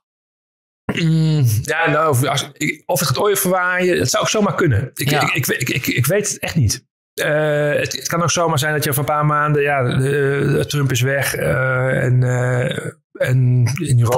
Er, iedereen neemt het op. Ja, iedereen gaat weer zijn eigen dingetjes doen. En dan is er opeens zijn er gewoon veel meer mensen, minder mensen die, die zich er überhaupt mee bezighouden. Ja, en dan, dan, dan gaat de energie er een beetje uit. En, eh, dus dat kan er gewoon overwaaien. Maar, en dan gewoon een beetje doorcijpelen. Maar eh, ja, er, is, nu- er is nu wel zoiets, zo'n beweging van allerlei mensen die tegen van alles nog wat pro- protesteren. En dat allemaal bij elkaar gooien. Dus en corona en kindermisbruik. En eh, goed, we hebben dan in Nederland en er weer zo'n, zo'n de pedo-partij er weer een nieuw leven ingeblazen. Waar dan De weer- boeren. eh, nou, naar de boeren en de gele hesjes. Ja. Ja, ja er, is, er is gewoon veel. ehm, er zit veel, energie in, in, in een soort Ja. verzet, zeg maar. Of eh, boosheid richting de overheid. En, maar dat kan best wel weer, weer snel wegwaaien als het, eh, als het gewoon weer eh, een beetje normaal gaat in de samenleving met, met die corona. Ik ben eigenlijk toch iets pessimistisch. Ja, ik, weet, ik weet het niet. Ja, je Nee, weet het niet, kan. je weet het inderdaad. Want waar ik namelijk. ehm, hoe ik, de gebeurte, hoe ik deze, deze gebeurtenissen zie, namelijk, is een. Is een, is een ja, is een hete. eh, eh, hoe noem je dat? Hete druk. Nou, de druk wordt steeds verder opgevoerd. De druk op de keten De wordt druk op de ja, keten ja, wordt steeds opgevoerd. En je ziet dat mensen het ook steeds moeilijker vinden om zich aan regels te houden. Eén. eh, twee. We hebben nu weer allemaal nieuwe maatregelen die echt wel veel bedrijven de kop gaan kosten, ko- kosten. En ook heel veel mensen gewoon inkomen gaan, gaan kosten. En dat- dat, voedt natuurlijk die wantrouwen en dergelijke. Ja. We hebben al demonstraties sla, slaag zien raken met de politie en, eh, en dergelijke. We zien Hugo de Jonge of, eh, uitgescholden worden voor een kinderverkrachting. Ja. Ehm, ehm, ik zie die trend namelijk alleen maar stijgen. En ik zie Willem Engel bijvoorbeeld. Ja, ik, weet, misschien ben ik iets te veel aan het concentreren op wat ik Mhm. op Twitter zie en dergelijke. Laat, laten we het daar ook even over Ja. hebben. Want hè, misschien is het gewoon een Ja, Facebook. nee, dat die- doe ik ook wel. Maar ik probeer altijd te beseffen van... Oh ja, er zijn, er lopen ook nog mensen buiten rond die nog nooit van Twitter hebben gehoord. ja, En, ja, eh, precies. Dus, ik zie, ik zie wel op het ogenblik dat er veel meer, veel meer dat complotdenken veel meer ehm, eh, doorgedrongen, of in ieder geval in, in de hoofden van de mensen eh, aanwezig is. Want kijk, voorheen hield ik me, zo- zeg maar voor eh, begin dit jaar, wat waren dan de grote complottheorieën? Mensen die iets van QAnon wisten, die hielden daar een beetje mee bezig. Maar je, had dan nog 9-11, dat natuurlijk nog vrij groot was. Ja. Maar ik, ik- in mijn eigen kennissenkring kwam ik nooit mensen tegen die dat heel eh, interessant vonden of daar mee bezig waren. En eh, ik, ik, vond via mijn persoonlijke kanalen, zeg maar, eh, kenniskring, kwam ik daar eigenlijk niet zoveel mee in aanmerking. Maar ik zie nu met, met eh, rond die corona, dan krijg ik eh, ja, niet direct kennis en vrienden van mij of familie, maar wel via hun krijg ik dan mailtjes van, hey Pepijn, kun je hier eens naar kijken? Want ik krijg ik doorgestuurd van een vriend van mij. En dit, dit van, klopt toch niet? En, dus ik zie nou wel een beetje net iets schil, net buiten mijn directe kenniskring, dat daar al behoorlijk wat mensen gevoelig zijn voor complotdenken. En dat heb ik vroeger eigenlijk nooit, nooit zo gehad. Maar goed, het kan ook zijn dat, dat ik iets, iets bekender ben geworden en dat ze mensen mij daarop aanspreken. Maar ik heb wel het idee van, ik, ik zie het van bijvoorbeeld vrienden van mijn, of kennissen van mijn ouders die dat dan hun, eh, hun doorsturen. En die, die dan mij weer iets doorsturen van, hey Pepijn, kun je hier eens even iets, over, iets verstandigs over zeggen? Iets verstandigs te horen. dus eh, ja, het, is- het is, komt in die zin dichterbij. Dus, dus het is in mijn, ik denk echt dat er gewoon veel meer mensen mee bezig zijn. Laten we even, eh, even wat algemener kijken naar, eh, naar iets anders, naar een bepaalde tactiek, wat ook wel door complotdekkers gebruikt wordt. Namelijk tactieken die normaal gesproken door, door sceptici of eh, wetenschappers gebruikt worden. Tactieken zoals eh, eh, duidelijk maken dat de waarheid of de objectieve feiten zich niet eh bekommeren om wat jij ervan vindt. Mhm. En dat je dus heel, heel objectief met zijn, moet zijn. van die vragen stellen van vraag je je af waarom je niet kritisch kijkt naar dingen. Het woord kritisch überhaupt Ja, gebruiken. ja, ja. En daar dat vind ik iets heel raars aan de hand. Want hier worden dan woorden en, en zinnen en, en betekenis gebruikt die helemaal niet, sorry, niet betekenis, zinnen en woorden gebruikt, die lijken ogen te betekenen wat je zou denken dat ze betekenen, kritisch zijn, maar eigenlijk wel wat anders betekenen. Ehm, kun, je, kun je daar iets over zeggen, over hoe die, over hoe die retorica ingezet wordt? Ja, nou ja, goed. Ja, ehm, nou, wat je nu wel ziet met het, op een ogenblik met het complotdenken heeft al een soort, soort, uh, soort verandering doorgemaakt. Hè? Dus wat, het, het complotdenken wat nu uh, het meest opvalt.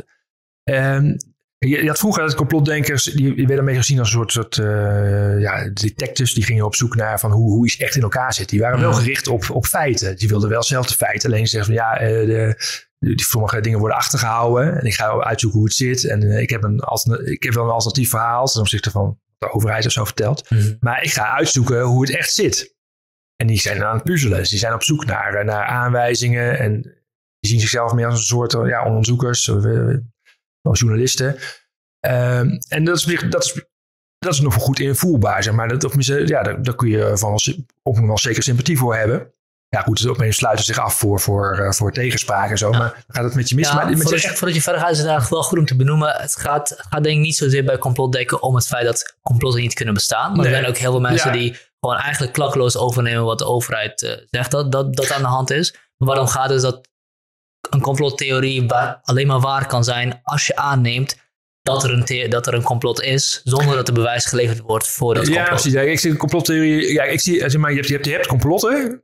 Ja. daar kun je, hè, over, en er zijn er genoeg. Uh, en je, een complottheorie, ik, ik meestal gebruik de term voor zeg maar, een alternatief verhaal. Zeg maar. er, er is een officiële versie, meestal vanuit een overheid, maar het kan ook vanuit een instantie zijn die, die beweert iets. En een complottheorie is eigenlijk een alternatieve versie. Uh, waarin er dus sprake is van, van samenzwering van, van twee mensen, meestal met kwade bedoelingen. En waarvoor eigenlijk, uh, ja, als je er goed naar kijkt, niet zo hele goede argumenten voor zijn. Dat, die, dus dat is een beetje de, de, ja, mijn, mijn, hoe ik er meestal naar kijk. Uh, maar wat je nu ziet, is dat een hele mensen, dat, dat complotachtige denken, zeg maar, dat dat meer neerkomt op uh, gewoon het oproepen van vragen. Of zeg maar, ja, van ze geloven iets niet, maar ze hebben meestal geen alternatief, echt alternatief verhaal. Dus als je vraagt, ja, maar hoe denk jij dan dat zit? Ja, nee, maar het gaat er mij om dat, dat, dat het officiële verhaal niet klopt. Hè? en ook, dat zag je laatst vorige week ook weer met die, uh, rond, die, rond die celebrities of niet, die influencers. Ja, ja we, we, we, hebben allemaal vragen. Dus ik, nou oké, okay. uh, ja, dat is op zich prima. Maar als je dan een beetje, een beetje gaat, gaat porren van, van hoe, waarom breng je dit nou? Dan kan je het wel uitleggen. Ja, nee, maar het gaat erom de discussie op de gang te brengen. Eigenlijk zijn ze niet echt op zoek, lijkt het, naar de antwoorden. Nee zijn, zijn eigenlijk alleen maar geïnteresseerd in bevragen. Sorry, uh, ondermijnen. Zelfs. Ja, ja, volgens mij hebben ze niet zo eens, zelf zo eens zo door. Ze zijn ontevreden. En, en het, het, stellen van vragen is een, is een manier om, om uh, ja, de aandacht voor te krijgen voor die onze, mm. ontevredenheid of zo. Dus ja, hoe, mensen, ja, zijn, al die maatregelen die genomen zijn, zijn niet leuk. Maar er zijn wel er zijn, er zijn goede en soms wel minder goede redenen voor die hè, door de overheid naar voren worden gebracht. Door de wetenschap. En dan kun je, dan kun je vragen op stellen, maar er zijn ook antwoorden. Ja. maar goed, en als die antwoorden komen, betekent niet, zeg maar, ja, dan moet je dus gaan, gaan bedenken van, oh, ja, ze hebben gelijk. Dus, dus er is best wel goede redenen voor die, voor die maatregelen. Ja. Maar eigenlijk wil je dat niet horen, want je wil boos, je bent boos op die maatregelen. Dus je, je wilt liever bij die vragen laten. Ja. Je zag het vorige week bij op een heel mooi. Dat, dat zat dat uh, viroloog, die Anne Vossen. Die, en er zat een huisarts, een beetje zo'n zweverige huisarts. Daarnaast die ook al die vragen, zo'n brandbrief. Uh, ja. En zegt, oh, zegt Anne nou, ik ga dat even uitleggen. Nou, dit hoeft hier nu niet, zeg maar. Ja. je wil hem niet uitleggen. Je hoeft geen antwoord geven op de vragen. Dus ik vind ik wel, dat is, dat is wel iets wat je ziet. Dat dat gewoon het vragen stellen. Maar je, je ziet het wel iets breder. Uh, uh, ja, er is niet meer op zoek naar, naar, naar een verhaal hoe het, hoe het echt zit of zo. Die feiten doen er eigenlijk niet meer toe. Het gaat meer om het verhaal van, ik, dit klopt niet. Ja. Dat is, dat is, dat is al voldoende. Zeg maar de, de ja, de, de, de, klassieke complotdenker, die, die ziet ergens rook en die gaat op zoek zeg maar, naar het vuurtje. Hè? Wie heeft dat aangestoken? En die moderne complotdenker, die gaat eigenlijk alleen op zoek naar nog meer rook. Ja. En dat is, ja, zo kijk ik er een beetje tegenaan. En uh, ja, dus dat is wel een beetje verwarrend. Maar het is ook heel lastig om daarmee in discussie te gaan. Wat, wat, wat, is, wat wil je uiteindelijk iemand uitleggen? Ja, ik, ik, probeer toch gewoon altijd nog gewoon uit te leggen hoe het zit. Hmm. En, en uh, hoe gaat je dat af? Nou ja, ik schrijf het meestal gewoon op en soms ga ik er wel in discussie. Maar de mensen met wie ik in discussie ben online of zo, dat zijn meestal met je meer de klassieke complotdenkers. Die, ja, maar die ontwijken ook vaak je, antwoorden uiteindelijk. Hmm. Maar, uh, ik probeer het wel uh, zo, zo nuchter te doen en zonder. Uh, ja, dat is natuurlijk ook de enige manier wat je kan doen, hè? Want je kan, je kan niet hetzelfde gaan doen en mensen gaan aanvallen. kan niet zeggen, doe je eigen onderzoek. Nee, dat eh, heeft geen, geen zin. Wat, ook vaak, ja. eh, wat, je ook vaak Ja. terugkrijgt van Ja. complotdenkers. eh, Het is, niet, is niet mijn taak om het je uit te leggen. ja. Ehm, maar soms heb ik ook wel een beetje het gevoel alsof. Ja, ik bedoel, ik zag gisteren weer dat, eh, dat FVD met, eh met Tisha Boy J eh, Ja, over PCR-tests. en ik dacht echt, ja, dit breekt mij gewoon. Omdat ik gewoon, ik weet niet meer wat je moet doen. Het, het is zo vaak uitgelegd, het is zo vaak Ja. verteld. Maar het maakt niet uit, want je kan het gewoon blijven herhalen. Je kan blijven zeggen dat het klopt. Ja, maar met, met, met zo'n eh, voor, voor democratie, dan weet ik dus niet zo goed. Eh, Is het, ze gebruiken het complotdenken Ja. als, een, als een instrument. En volgens mij zijn het, is het niet zozeer dat ze dat nou interesseert of het eh, waar is of niet. Maar zij, zij zien het als, gebruiken het volgens mij als, als een instrument. Omdat ze weten, van, nou, hiermee kunnen we een beetje chaos creëren. Of een beetje kritisch, zogenaamd kritisch doen richting de, hè, de gevestigde partijen. ja. Past in hun straatje. Ja, Maar- dat, dat denk ik zeker. Ja. Ja, Alleen dus het werkt niet zo goed. Want Maar, maar zo'n zo'n zo'n Tishy Boy J, eh, ja, ook, die komt ook weer. Maar ik heb, alleen, ik heb vooral vragen. Ja. Ik denk, ja, ehm, ik, ik denk dan, ik dacht op een gegeven moment ook van, ja, misschien klopt het ook wel. Zit, heb ik helemaal geen goed beeld over van eh, hoe die jongen zijn informatie eh, eh, bij elkaar Nou, hij had haalt. een gesprek gedaan met een paar huisartsen. Volgens Ja, mij, maar het zijn wel huizen die uit dat, uit dat kringetje ja, komen. precies. Dus hij, hij gaat wel met die mensen Ja, maar hij gaat dus niet op zoek naar, naar tegenspraak. hij gaat niet met Diederik Gommers gesprek. Ja, zou hij misschien wel zou hij misschien doen. Ik weet het niet. Nou, ik doen. dat hij doet, maar hij heeft het niet gedaan. Dat Nee, nee, nee, precies. En dus, eh, ja, dat heb ik een beetje wat ik er gewoon principieel wel een beetje op tegen heb. Mensen zeggen, ja, ik heb wel vragen. En, maar als je met zo'n platform hebt en je gooit die vragen zomaar eh, online zonder dat je duidelijk, tot, tot duidelijk dat je niet de moeite hebt gedaan om op zoek te gaan naar antwoorden, Ja. dan vind ik dat wel een beetje zwak. Ja. Want die antwoorden zijn niet zo heel moeilijk te vinden hoor. En, en of, of ja. Ja, dus, maar, dus het antwoord wat een RIVM.nl geeft, dat vertrouwt hij niet. Het antwoord wat Nee. een eh Rijksoverheid.nl geeft, dat vertrouwt hij niet. Het Nee. antwoord van het WHO, dat vertrouwt niet. Nee, met, voorbaat bij al- voorbaat al, al verdacht ja, gemaakt. verdacht gemaakt. Ja, ja. En, eh, dus je moet, maar goed, dan zijn er nog genoeg, genoeg mensen, zeg maar, eh, journalisten of, of andere wetenschappers die er niet mee verbonden zijn, Ja. die je zou kunnen aanspreken. Ja. En ik denk van ja, ik vind het al een beetje makkelijk. Eh, ja, maar goed, op zich, maar ik, ik dacht op een gegeven moment ook wel, eh, je moet ook niet te hard oordelen van, is, is het echt doelbewuste misleiding? Eh, dat, weet ik, dat weet ik niet al, in alle gevallen. Het Nee. kan ook gewoon zijn dat ze, dat ze echt in zo'n enorme bubbel zitten. En, eh, Ja, dat denk, ja, tuurlijk. Ik denk dat zeker dat eh Tisha Boy J en Lange Frans zich echt wel geloven in wat ze, wat ze zeggen. Maar bij, eh, Bij Lange Frans ik heb ik een beetje ja. met twijfels hoor. maar- waarom? Eh, kunnen we zo meteen over. Maar, maar ik denk dat, dat FVD daadwerkelijk... Sorry, ik moet niet zeggen FVD. Ik moet eigenlijk zeggen Thierry Baudet en Ja. Van Hagen. Want ik denk dat er binnen FVD ook genoeg mensen zijn die, hier klaar mee zijn. Ja, ja. Maar eh Thierry Baudet en Van Hagen, die weten heel goed dat ze gewoon ja, ze onzin aan het verspreiden zijn. En eh, Ja. ik ben geen scepticus. Ik Ja, kan ja, gewoon ja. eh, wat zijn maar goed, jij. Dat denk ik eigenlijk ook hoor. Dus het, En Willem ja. Engel denk ik ook. voordat ik daarheen ging, dacht ik, maar toen ik nadat ik dat gesprek met hem gehad, dacht we begonnen het een beetje in te, in te dagen van, deze man is niet geïnteresseerd in mij antwoorden geven. Deze man is alleen maar geïnteresseerd in mij om te buigen naar wat hij vindt dat, dat, Ja. dat ik moet geloven. Ja. Los van of hij dat dan gelooft, zelf gelooft of niet. Hij heeft gewoon een heel andere agenda dan... Nee, dan ze, hebben, ze, hebben een, ze hebben een duidelijke agenda. En alles daar, ja, het maakt niet uit wat je daarvoor eh, inzet om, om die agenda zeg maar, voor te zetten. Ja. Dus eh, dat, dat- ja, goed, maar dat is meer ja, politiek in het actie voeren. Ja, dus er zit, heel veel opportunisme zit daar eh, eh, achter. Dat idee heb ik ook wel.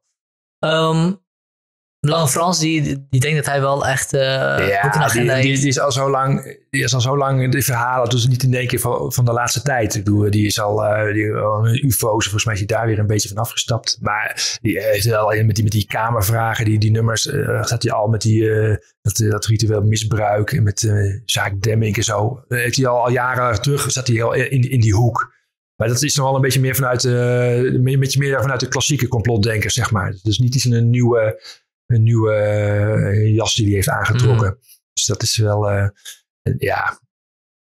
Ja, ik, ik, ik heb het wel laatst over gehad. Iemand, het zijn best wel van die rappers die nu eh, naar, naar voren komen. Hè, die die, die als complotdenker een beetje uit de Nederlandse of... ja, Nederlands ook wel, Ja. maar ook wel een, ik denk wel in de VS ook wel.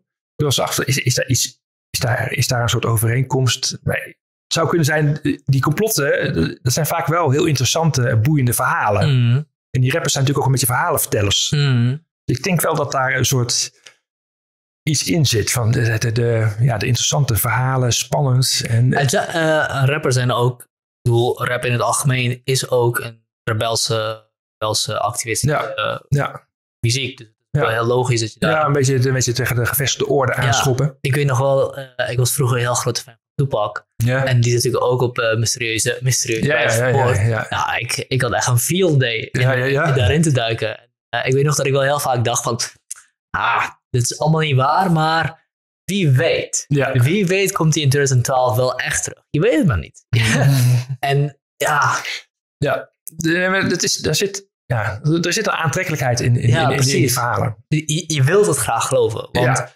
want het, het geeft je ook, het geeft je ook, geeft je ook wel een doel en een, en een plek in een groter geheel. Je bent niet zomaar eh, die, eh, die wat dingen aan het spuien van wat Instagram post Mhm. aan het uploaden is. Je bent echt daadwerkelijk aan het meehelpen en aan het bijdragen aan het redden van, Ja. de Nederlandse staat. Of aan Ja, het ja, redden ja, van kinderen. ja, ja. Um, dat snap ik ook wel. Wat ik wel leuk vind is, eh, wat voor complotten zijn er, ik weet niet waar je daarin zit, die, waarvan je denkt, nou hier zit toch wel wat in. Hier, hier, hier is, dit zou nog wel wat, eh, of hier, ben- Ja, hier ben ik nog het- niet over, eh, over uit. Dus, Nou ja, dat, nu niet over uit, sorry. Ehm er zijn ook niet zo snel voorbeelden. Maar waar, waar ik zeg maar wel vaak al als voorbeeld geef van complotten die, die dus eh, ehm, verder gingen dan, of waar, waar de werkelijkheid zeg maar mij verbaasde. De hele toestanden met, eh, met, met die afluisterpraktijken van de NSA, zeg maar, die door dus Hmm. Edward Snowden naar, naar buiten zijn gebracht. Denk ik van ja, dat, dat was wel, dat is zo'n onderwerp van, nou, een hoop mensen hadden daar wel een beetje eh, vermoedens van. En zeggen van, nou, ze kunnen echt alles, ze iedereen volgen en weet ik veel. Dan denk ik van, nou, dat is een beetje overdreven. Maar goed, en dan blijkt uiteindelijk, ehm, dat zou je dus echt toen als tijd als een complottheorie eh, kunnen zien. Ja. Want je ze hadden er natuurlijk niet heel hard bewijs voor. Maar goed, hadden in dit geval waarschijnlijk toch wel eh behoorlijk gelijk. Omdat het echt veel verder ging dan, dan we, eh, we dachten. En ehm, ja, ja, wat je nu ook ja, bijvoorbeeld met die grote social media bedrijven. Van, van wat weet zo'n Facebook en, en Google nou eigenlijk precies met ons? En ze gaan, hoe- ja, wat ze daar allemaal precies mee doen. Nou, je zag het met Facebook is natuurlijk met, die- met die eh, verkiezingen, met die Cambridge Analytica. Mhm. ja, is dat nou, hebben ze dat uit de hand laten lopen? Eh, hebben ze daar per ongeluk eh, niet goed over nagedacht? Is het stommiteit? Of is het er toch ook achter van dat daar eh, toch doelbewust ook een beetje aangestuurd wordt? eh, dat echt gehandeld wordt in de gegevens, ook al weten ze dat het eigenlijk niet deugt. Zeg maar. hmm, Dus ja, dus dat, ja da- daar, daar is voor hem wel zaak om dat kritisch te blijven volgen, denk ik. Dat, ja, ja. de social media en data. Dat zijn dat is denk ik op het ogenblik denk ik wel de grootste, eh, ja. iets waar je wel onderzoek Nou, ja, dat- nou, gebeurt er gelukkig ook wel. Er zijn wel mensen die dat kritisch volgen. Maar dat zou, dat zou, het zou me niet verbazen als dat, zeg maar, eh, dat er veel meer vuile eh, was zit. Maar die, die daar niet zo'n goede, geen, geen zicht op hebben nu. Eh, wat kun je doen als je zelf te maken hebt met. want op dit moment zijn er ook echt gezinnen en vriendengroepen die uit elkaar aan het vallen zijn. omdat, omdat iemand Ja. echt in een complot begint te geloven en daar op geen enkele manier van af te halen is. Ehm, hoe zou je aan mensen aanraden om daarmee om te gaan? En ik stel die niet de vraag in de zin van: oké, hoe kun je ze terughalen naar de good side? Want daarmee ga je, Ja. dan ben, je, eigenlijk iemand al aan het bestempelen van jij zit fout en jij Nee, ja, maar stel ik dat ja. Want het is, dus, dus van, maar dat is, dat is heel lastig. Ik, eh, Ja. ehm, Hoe kun je respectabel blijven tegenover, Ja. respectvol blijven tegen iemands overtuigingen, maar toch, mhm. Toch, Nou ja, ik respect tegenover de persoon. Hè? Zo, Eh, ja, tegenover de persoon, eh. Je hoeft niet, zeg maar... En, en, en de, het kan wel, zeg maar, dat is lastig. Maar je, je moet op een of andere manier, op een ander level, zeg maar, eh, goed met elkaar verbonden zijn. Dus Mhm. Met een familielid is dat natuurlijk in principe- in principe makkelijker, want je bent gewoon familie. Dus je hebt, je hebt er wel een normale manier om ook over, over andere dingen te hebben. Dus dan, kun je, dan heb je wel een soort basis waar je altijd weer op terug kunt vallen. Nou jongens, het loopt even te... Hè? Laten we het even over andere zaken hebben. En met goede vrienden denk ik ook wel. Maar bij het volstrekt wils vreemde of zo, of een vage kennis... Ja, is dat, is dat heel lastig. Want dan, dan heb- dan gaat het alleen maar over, over dat eh complottheorie. en ja, van vroeger dacht ik... of- Ik, had ook, ik heb wel vroeger ook wel van feestjes hoor, familiefeestjes waar je van kennissen die ik dan niet zo goed ken, dat je in gesprek raakt. En eh, nou, die, die gesprekken lopen vaak eh, hoog op, meteen emotioneel. En eh, daar moet je een beetje mee, mee uitkijken, want eh, de- ja, dan, dan bereik je niks meer.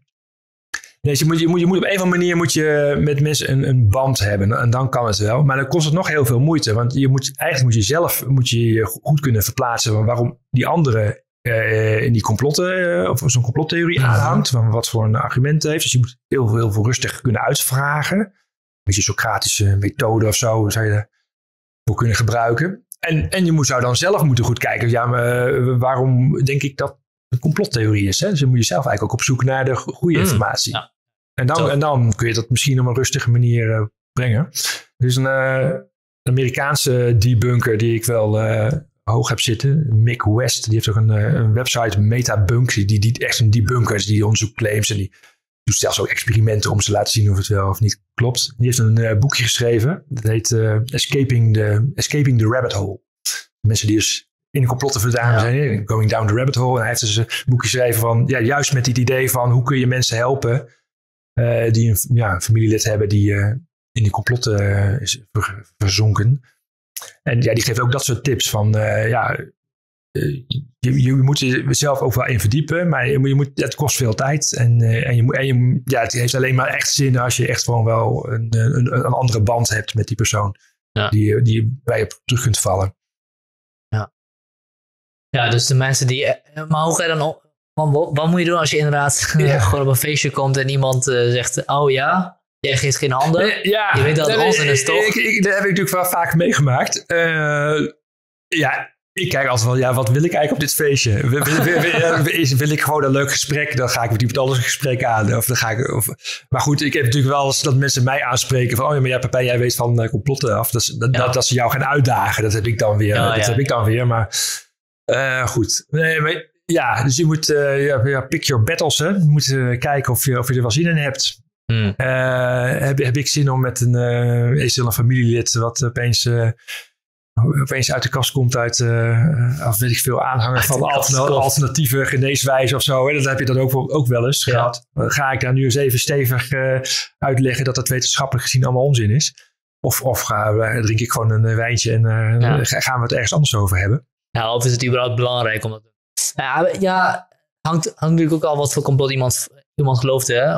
Nee, ja, als iemand echt, echt is gevaar, als iemand echt denkt van hé, maar die is echt een gevaarlijke idee Ja, die aanhangt, dan, Ja. dan, ja, dan eh, Ik zou alternatieve geneeswijzen niet echt als een complot eh aanduwen. Ja, pseudowetenschappelijk of Ja. whatever, maar... ehm gaat ook, eh, ga- ook, het is ook wel de manier waarop je natuurlijk bejegend wordt op zo'n zo'n event of door zo iemand. En Als je beschuldigd wordt van het feit dat je, als je niet gelooft wat de complotdenker gelooft, je dan schuld, mede schuldig bent aan dat- dat- kinderverkrachting. kom, kom, is- ik, heb ik, wel- kom ik regelmatig. ja, kijk, dat is natuurlijk een heel ander verhaal. Nee, als iemand ik, maar goed, meestal is dat online. En dan het- Ja. vind ik, het, ma- ik vind dat niet zo moeilijk. Ik kan dat makkelijk van me afzetten of negeren. Maar in het dagelijks leven kom ik dat niet zo, eh, niet zo tegen. Ja, ja. Gelukkig. Het zou wel anders zijn hoor. Ik denk, als je, nee, zoals zo'n Hugo de Jonge die dan uit de auto stapt en Ja. door eh, omstanders wordt uitgescholden voor, voor kinderverkrachten. Ik, toch wel, eh, vind ik wel heftig. Nou, wat ga je dan doen? Ja, Je, je weet niks. Je kan, ja, je kan alleen maar doorlopen en eh, naar binnen gaan. ja denk ik, ja. Ehm, ik had een vraag in mijn hoofd, maar die ben ik ook kwijt. Oh, eh, doordat ik bij Hugo Ja. in mijn hoofd zat. Ehm,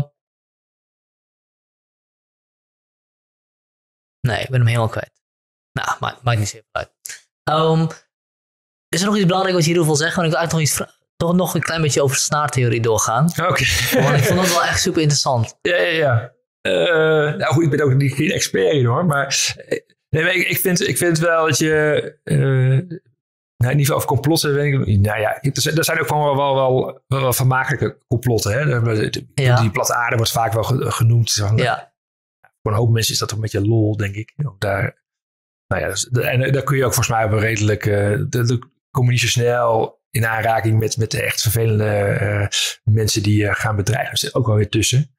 Maar ehm, ja, zijn er nog complotten die. ja die- denk je echt dat mensen naar platte aardecongressen gaan voor een loon? Nou, Als in, ja, ja, er zijn er wel geweest. Ja, er is zo'n raar circuit van, van, van symposia en zo. Waar mensen dan naar elkaar gaan eh, verhaaltjes gaan luisteren. En ik, heb, er- ik, heb, ik heb er zelf niet, eh, geen, geen lol in om daarheen te gaan hoor. Nee.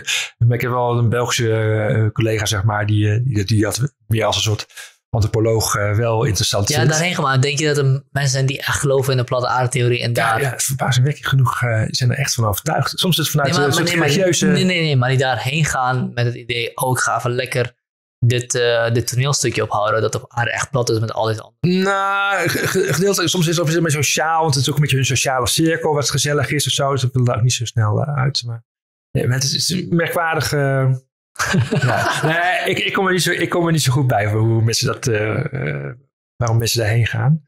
Maar je ziet wel vaak dezelfde eh, mensen of, of verschillende van die symposia bij UFO's en de, en bij de platte aarde en bij weet ik veel. Ja, ja, ja. ja. Terecht, die je ook weer in de QAnon ook wel weer ziet. Maar is, ja, maar er, is, er, is, er zijn gewoon enkele duizenden mensen in Nederland die, ja, die, die, die echt gewoon dat serieus nemen. Geloof eh, aan, aan dat soort hele, hele rare ideeën aan, aanhangen. Ja. Ja, ik kan er echt met me. Nou, hoeveel dat precies zijn, dat is onduidelijk. We hadden een aantal, 2012 of zo hadden we verkiezingen. Toen, met, hadden we zo'n, eh zo'n werd, werd een beetje als de UFO-partij genoemd. Het was die Mm. eh, soevereine, onafhankelijke pioniers Nederland. Dat was niet een partijtje.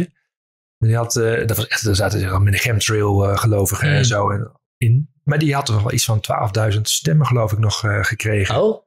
Dan denk je van ja, Ja, dat is wel veel inderdaad. Ja, ik bedoel, chemtrails en dergelijke zijn ook, ja, en 2009-11 waren ook best wel veel grote complotten. Ja, nog steeds. Nog steeds Ja, wel. nog steeds ja, wel. Ja, ja. ja, het is nu even een beetje rustig omdat het QAnon en die corona alles over Ja. schreeuwt. Ja. Nee, nou, 9-11 is echt wel het onderwerp waar ik meeste zeg maar, eh, mee in de clinch lig, zeg maar, met mensen vaak. Ja, Maar Dat zijn, dat, is wel een onderwerp, dat zijn een beetje de klassieke onderwerpen. hè. Er zijn mensen die dus echt op- die denken dat ze het gaan eh, uitpuzzelen hoe die gebouwen in elkaar gestort zijn. Dat ze kunnen bewijzen dat het niet door branden is gebeurd. En het is best wel een actieve eh, club. En er zijn ook geen domme mensen. Er zijn vaak mensen die gewoon wel eh, soms ook architect zijn. Of, eh, en eh, die staan helemaal in vastbijten.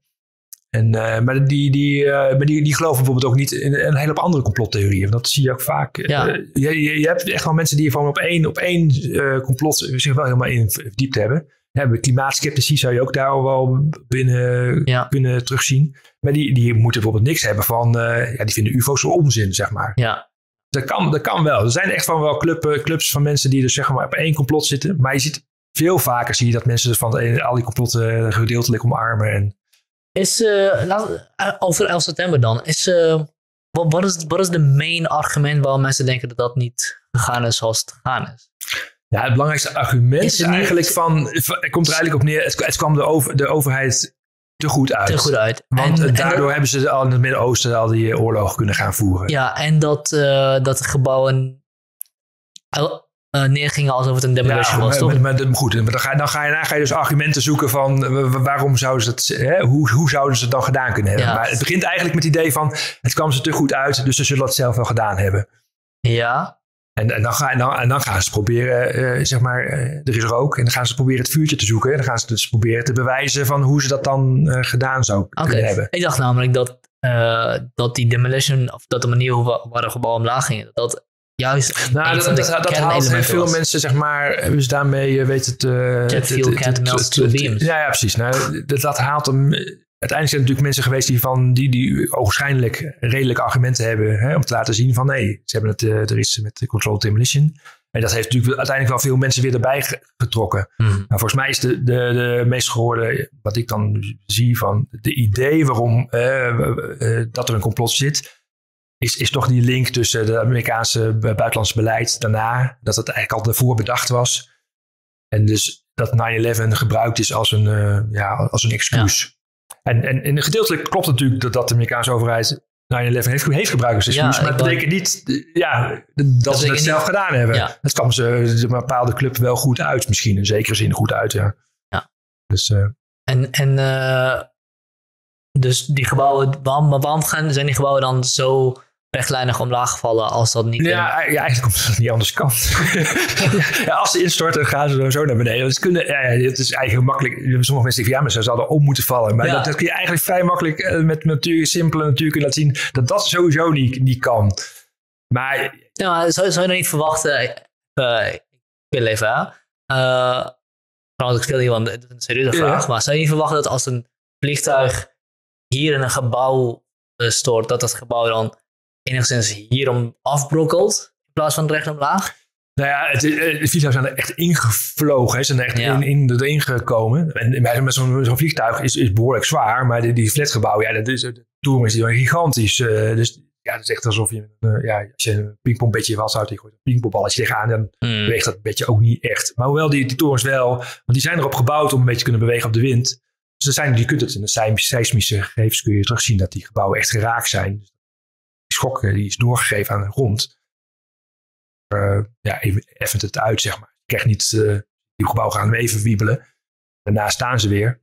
Maar ze zijn dus uiteen ingestort doordat dus die eh, verdiepingen waar die branden zijn, daar de verbindingen zodanig verzwakt zijn dat die, die verdieping, één of twee verdiepingen, zeg maar, tegelijkertijd inzakt.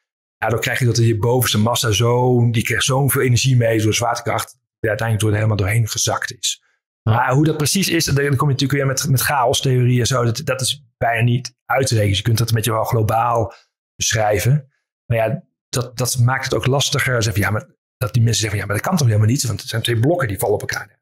Het zijn geen massieve blokken, daar gaat het dan al natuurlijk al mis. Het zijn natuurlijk Ja. raamwerken die langs elkaar heen kunnen schuiven. En, maar dat is, best, dat, is heel, dat is lastig om dat heel hard te maken. Je kunt het aannemelijk maken door te vertellen hoe, hoe het dan waarschijnlijk gegaan is. Maar om het echt uit te rekenen, eh, is niet te doen. Maar om uit te rekenen, wat, om wat uit te rekenen? Om, precies? om een precies exacte simulatie te maken die precies overeenkomt met hoe het toen gegaan is. Je kunt, Ja. wel, je kunt wel een simulatie maken die op dezelfde principes gebeurd is. Van nou, we blazen een paar stukjes op, zeg maar, in, Ja. in, het schema. En dan zie je het instorten. Maar dan zie je, zul je altijd zien dat die instorting er net iets anders uitziet dan Ja. hoe het echt ging. En dan zeggen ze, nou zie je wel, die simulatie klopt niet. Dus, eh, maar ja, we hebben geen cameraatjes overal gehangen in die, in die ruimtes. Waar we, we konden precies konden zien welke balk het eerste begeven heeft. En eh, Ja. je hebt dit van een gebrek aan informatie. En, eh, en dan heb je dan het beroemde gebouw, eh, derde gebouw, waar dus geen vliegtuig in is gegaan. En in die gebrek aan informatie daar, daar wordt natuurlijk meteen een complot in, in gedouwd. Nou, nee, nee, volgens mij geeft ze dan wel toe van ja, oké, die informatie is er niet. Ja. En mensen zeggen wel ja, dat er beter rekenwerk gedaan moet worden. Ze hebben dan het idee van, nou, het- het- je hebt pas bewezen dat het vanzelf is gegaan. Dus als je dus een hele exacte simulatie kunt maken, dan heb je pas goed bewijs. Hmm. En, maar dat is ook een, grenst ook weer een beetje aan dat van we stellen alleen maar vragen. Van we, we hebben vragen bij het bestaande bewijs. En eh, wij hoeven niet uit te leggen hoe het dan volgens ons gegaan is. Hmm. Dus eh, eigenlijk moeten we overheid moeten nog een keer eh, extra zijn best doen, want ze overtuigen ons helemaal. En dat, dat klinkt redelijk, maar je weet eigenlijk ook wel van als er, als er wel een extra slag gedaan zou worden om het nog iets met de modernere methodes nog iets beter te doen, dat ze nog steeds weer andere vragen hebben. Ja, Dus nee, inderdaad, het, het klinkt redelijk, maar het- waarom, waarom gaat het, waar gebruik je dat argument voor? Je hebt me niet, je hebt me niet overtuigd. Gebruik je het om de standaard verhaal te ondermijnen en jouw Ja. eigen verhaal erin te gooien? Of gebruik je hem te zeggen, hey, ja, ja, nee, om het, het, zeggen, het, het het, wordt- het is een beetje een truc, zeg maar. Ja. Ja. ja. Ja. Ehm, over wiskunde gesproken, het schiet me eigenlijk binnen, maar het is totaal andere vragen. Misschien ben je helemaal niet de expert. Ehm, maar ehm, weet je hoe, hoe uit de theorieën van Einstein en theoretische natuurkunde kan volgen dat zwarte gaten moeten bestaan?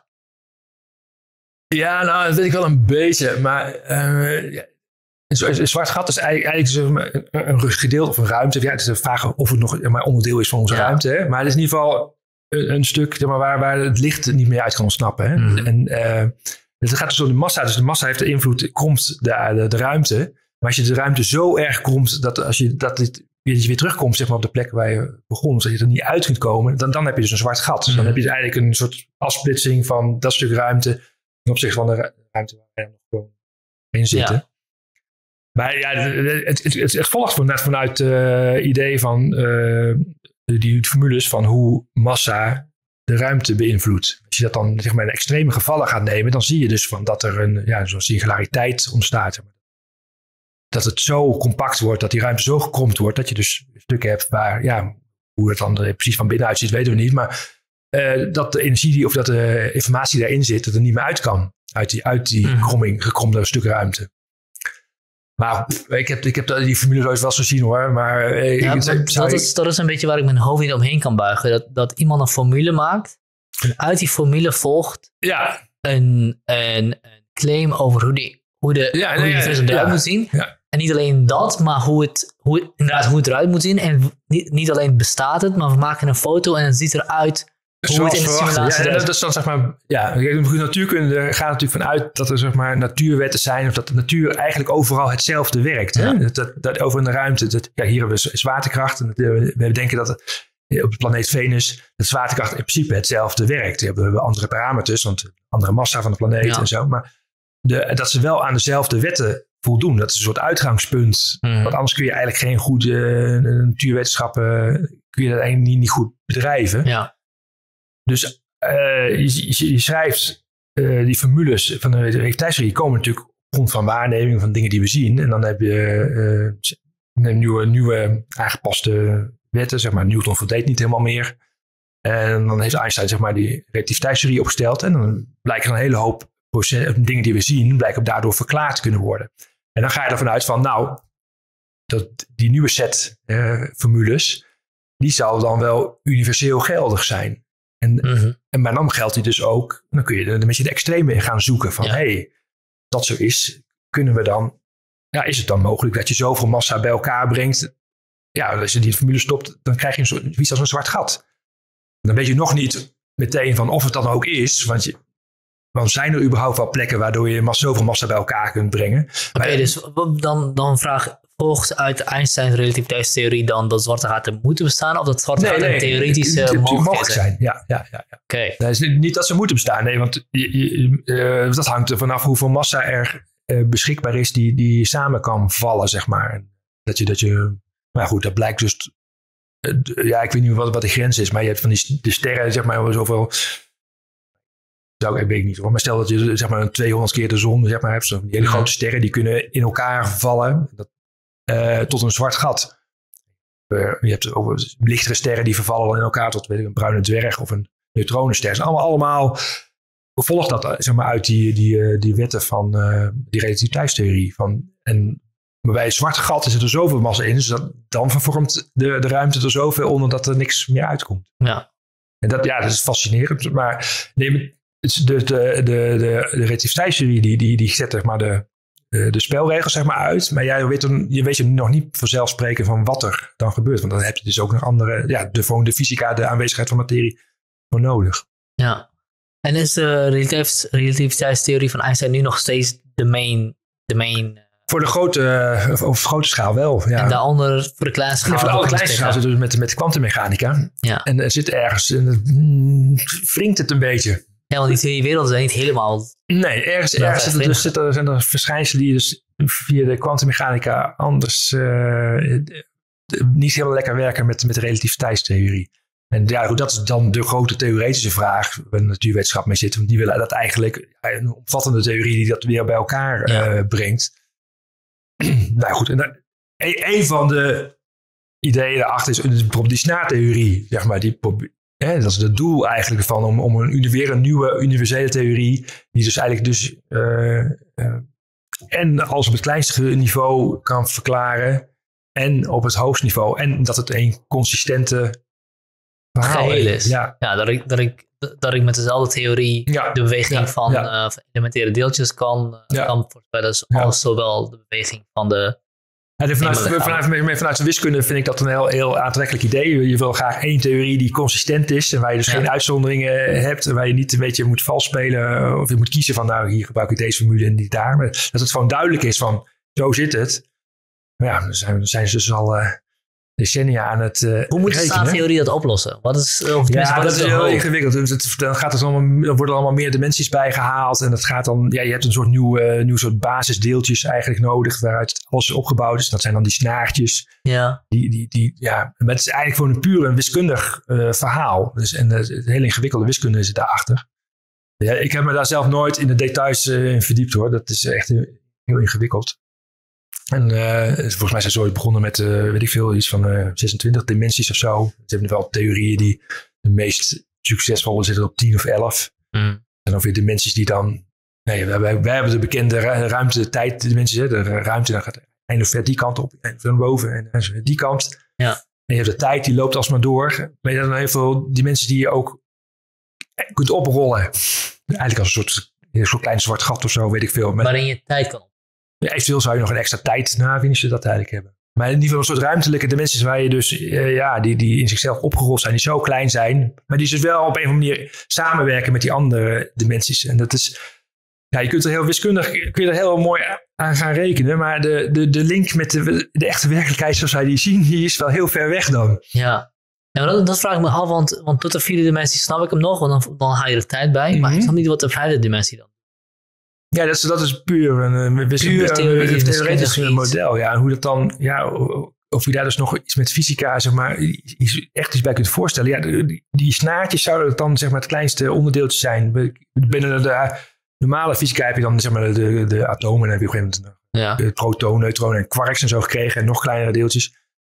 Uh, maar goed, dus nog enigszins, die kunnen we dus nog wel de sporen van zien in, in, in die deeltjesversnellers en zo. Maar die snaren, we nog nooit, hebben nog geen idee van hoe we daar het bestaan van zouden kunnen aantonen. het is puur een, puur een iets wat gepostuleerd wordt. Ja, ja eigenlijk wel. Ja, nou, dat kan best zijn dat er iemand opeens heel slim is en zegt van hé, hey, ik heb het zo in elkaar gestoken en nu klopt het opeens allemaal. Ja. Ja, dan heb je nog, ja oké, dan, heb je, dan heb je een model als het wat toevallig, ja misschien toevallig alles heel netjes voorspelt. Of is het dat dan de werkelijkheid? Dat is natuurlijk een interessante vraag. Wat ik niet begrijp is, uh, hoe, dat, hoe werkt dat met iemand die een, vierde, of sorry, een vijfde dimensie gebruikt om formule of een model te maken? Zegt iemand dan van, ja, weet je, uh, ik kom niet uit met vier, ik ga er vijf gebruiken. Of ja, dat, dat, voor de wiskunde is heel simpel. Want die werken met, met matrices, dus gewoon getallen met tabellen. En dan een stukje voor een vijfde kolom en een vijfde rij erbij. Okay. En, uh, ja, dan, dan reken je van. Het rekenen wordt uh, soms, soms niet eens veel ingewikkelder, soms zelfs simpeler. Dus dat is ja, maar hoe je dat moet voorstellen, uh, ja, daar heb, ik mijn, nee, daar heb ik nooit zo over nagedacht. Gezegd, maar nee. nee, je kunt het tekenen, je kunt er weer een projectie van maken, dan zit je weer in driedimensionale. Hè? Ja, heb je van die rare kubus uh, die je dan. Ja, ja. Maar, dat, maar, goed, en dat, maar dat is natuurlijk al lastig, want dat speelt natuurlijk al heel lang. Je hebt een boekje Flatland, ken je dat? Dat is iets, dat is volgens mij 19e, zeg maar 1870 of zo. Het gaat om beschrijving van uh, een platte wereld, zeg maar. Maar het, echt, echt vlak. En dan zitten, er zitten dus uh, geometrische figuren leven daarin. Dus driehoekjes mm. en vierkanten. En die komen elkaar tegen. Maar die, hebben dus alleen maar ogen. Die kunnen alleen maar in de... zien eigenlijk alleen een, een, een platte. Dus kunnen die naar boven en onder kijken. Maar, dat is, maar dan komen er dus toch driedimensionale voorwerpen. Die, die komen die, die, die, uh, die ruimte eigenlijk in. Dus dan op een gegeven moment zien ze... Die ze iemand ziet er een, een puntje ontstaan. En dat puntje wordt groter en groter en groter en groter. En op een gegeven moment wordt het, een streepje. En dan wordt het streepje wordt opeens weer, uh, weer, weer kleiner, kleiner. Oh, en dan het puntje is weg. En dan weet je op een manier toch achter te halen. Oh, dat is waarschijnlijk een driedimensionaal bol geweest die door ons vlak is heen gezakt. Je dan natuurlijk tegen de zijkant kijkt.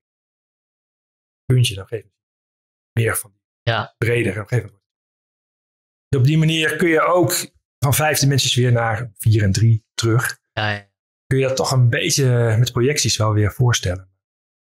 Wat vond je van, uh, van hoe Interstellar de vierde dimensie uh, weergaf? Ik heb hem niet gezien. Je niet gezien? Oh, nee, nou, nee, nee, ik heb er wel wat over gelezen, maar ik heb hem nog niet gezien. Ik, ik, ik, ik loop, ik loop enorm achter met allerlei films die ik eigenlijk toch wel wil zien. Het is echt een geweldige film. Hij schijnt natuurlijk redelijk goed ja, dat, ja, ja. Ze hebben volgens mij uh, advies gevraagd aan uh, ja. bekende natuurkundigen. Ja, hij is ook echt gewoon als film heel goed. Matthew McConaughey natuurlijk ook geweldige echt al vijf, acht keer. Oké, ja, precies. Uh, maar ja, ik ben wel benieuwd naar dat, ja, op een manier, op, op een punt wordt er iets gedaan, maar ja, kan ik okay. niet verklappen. Ja.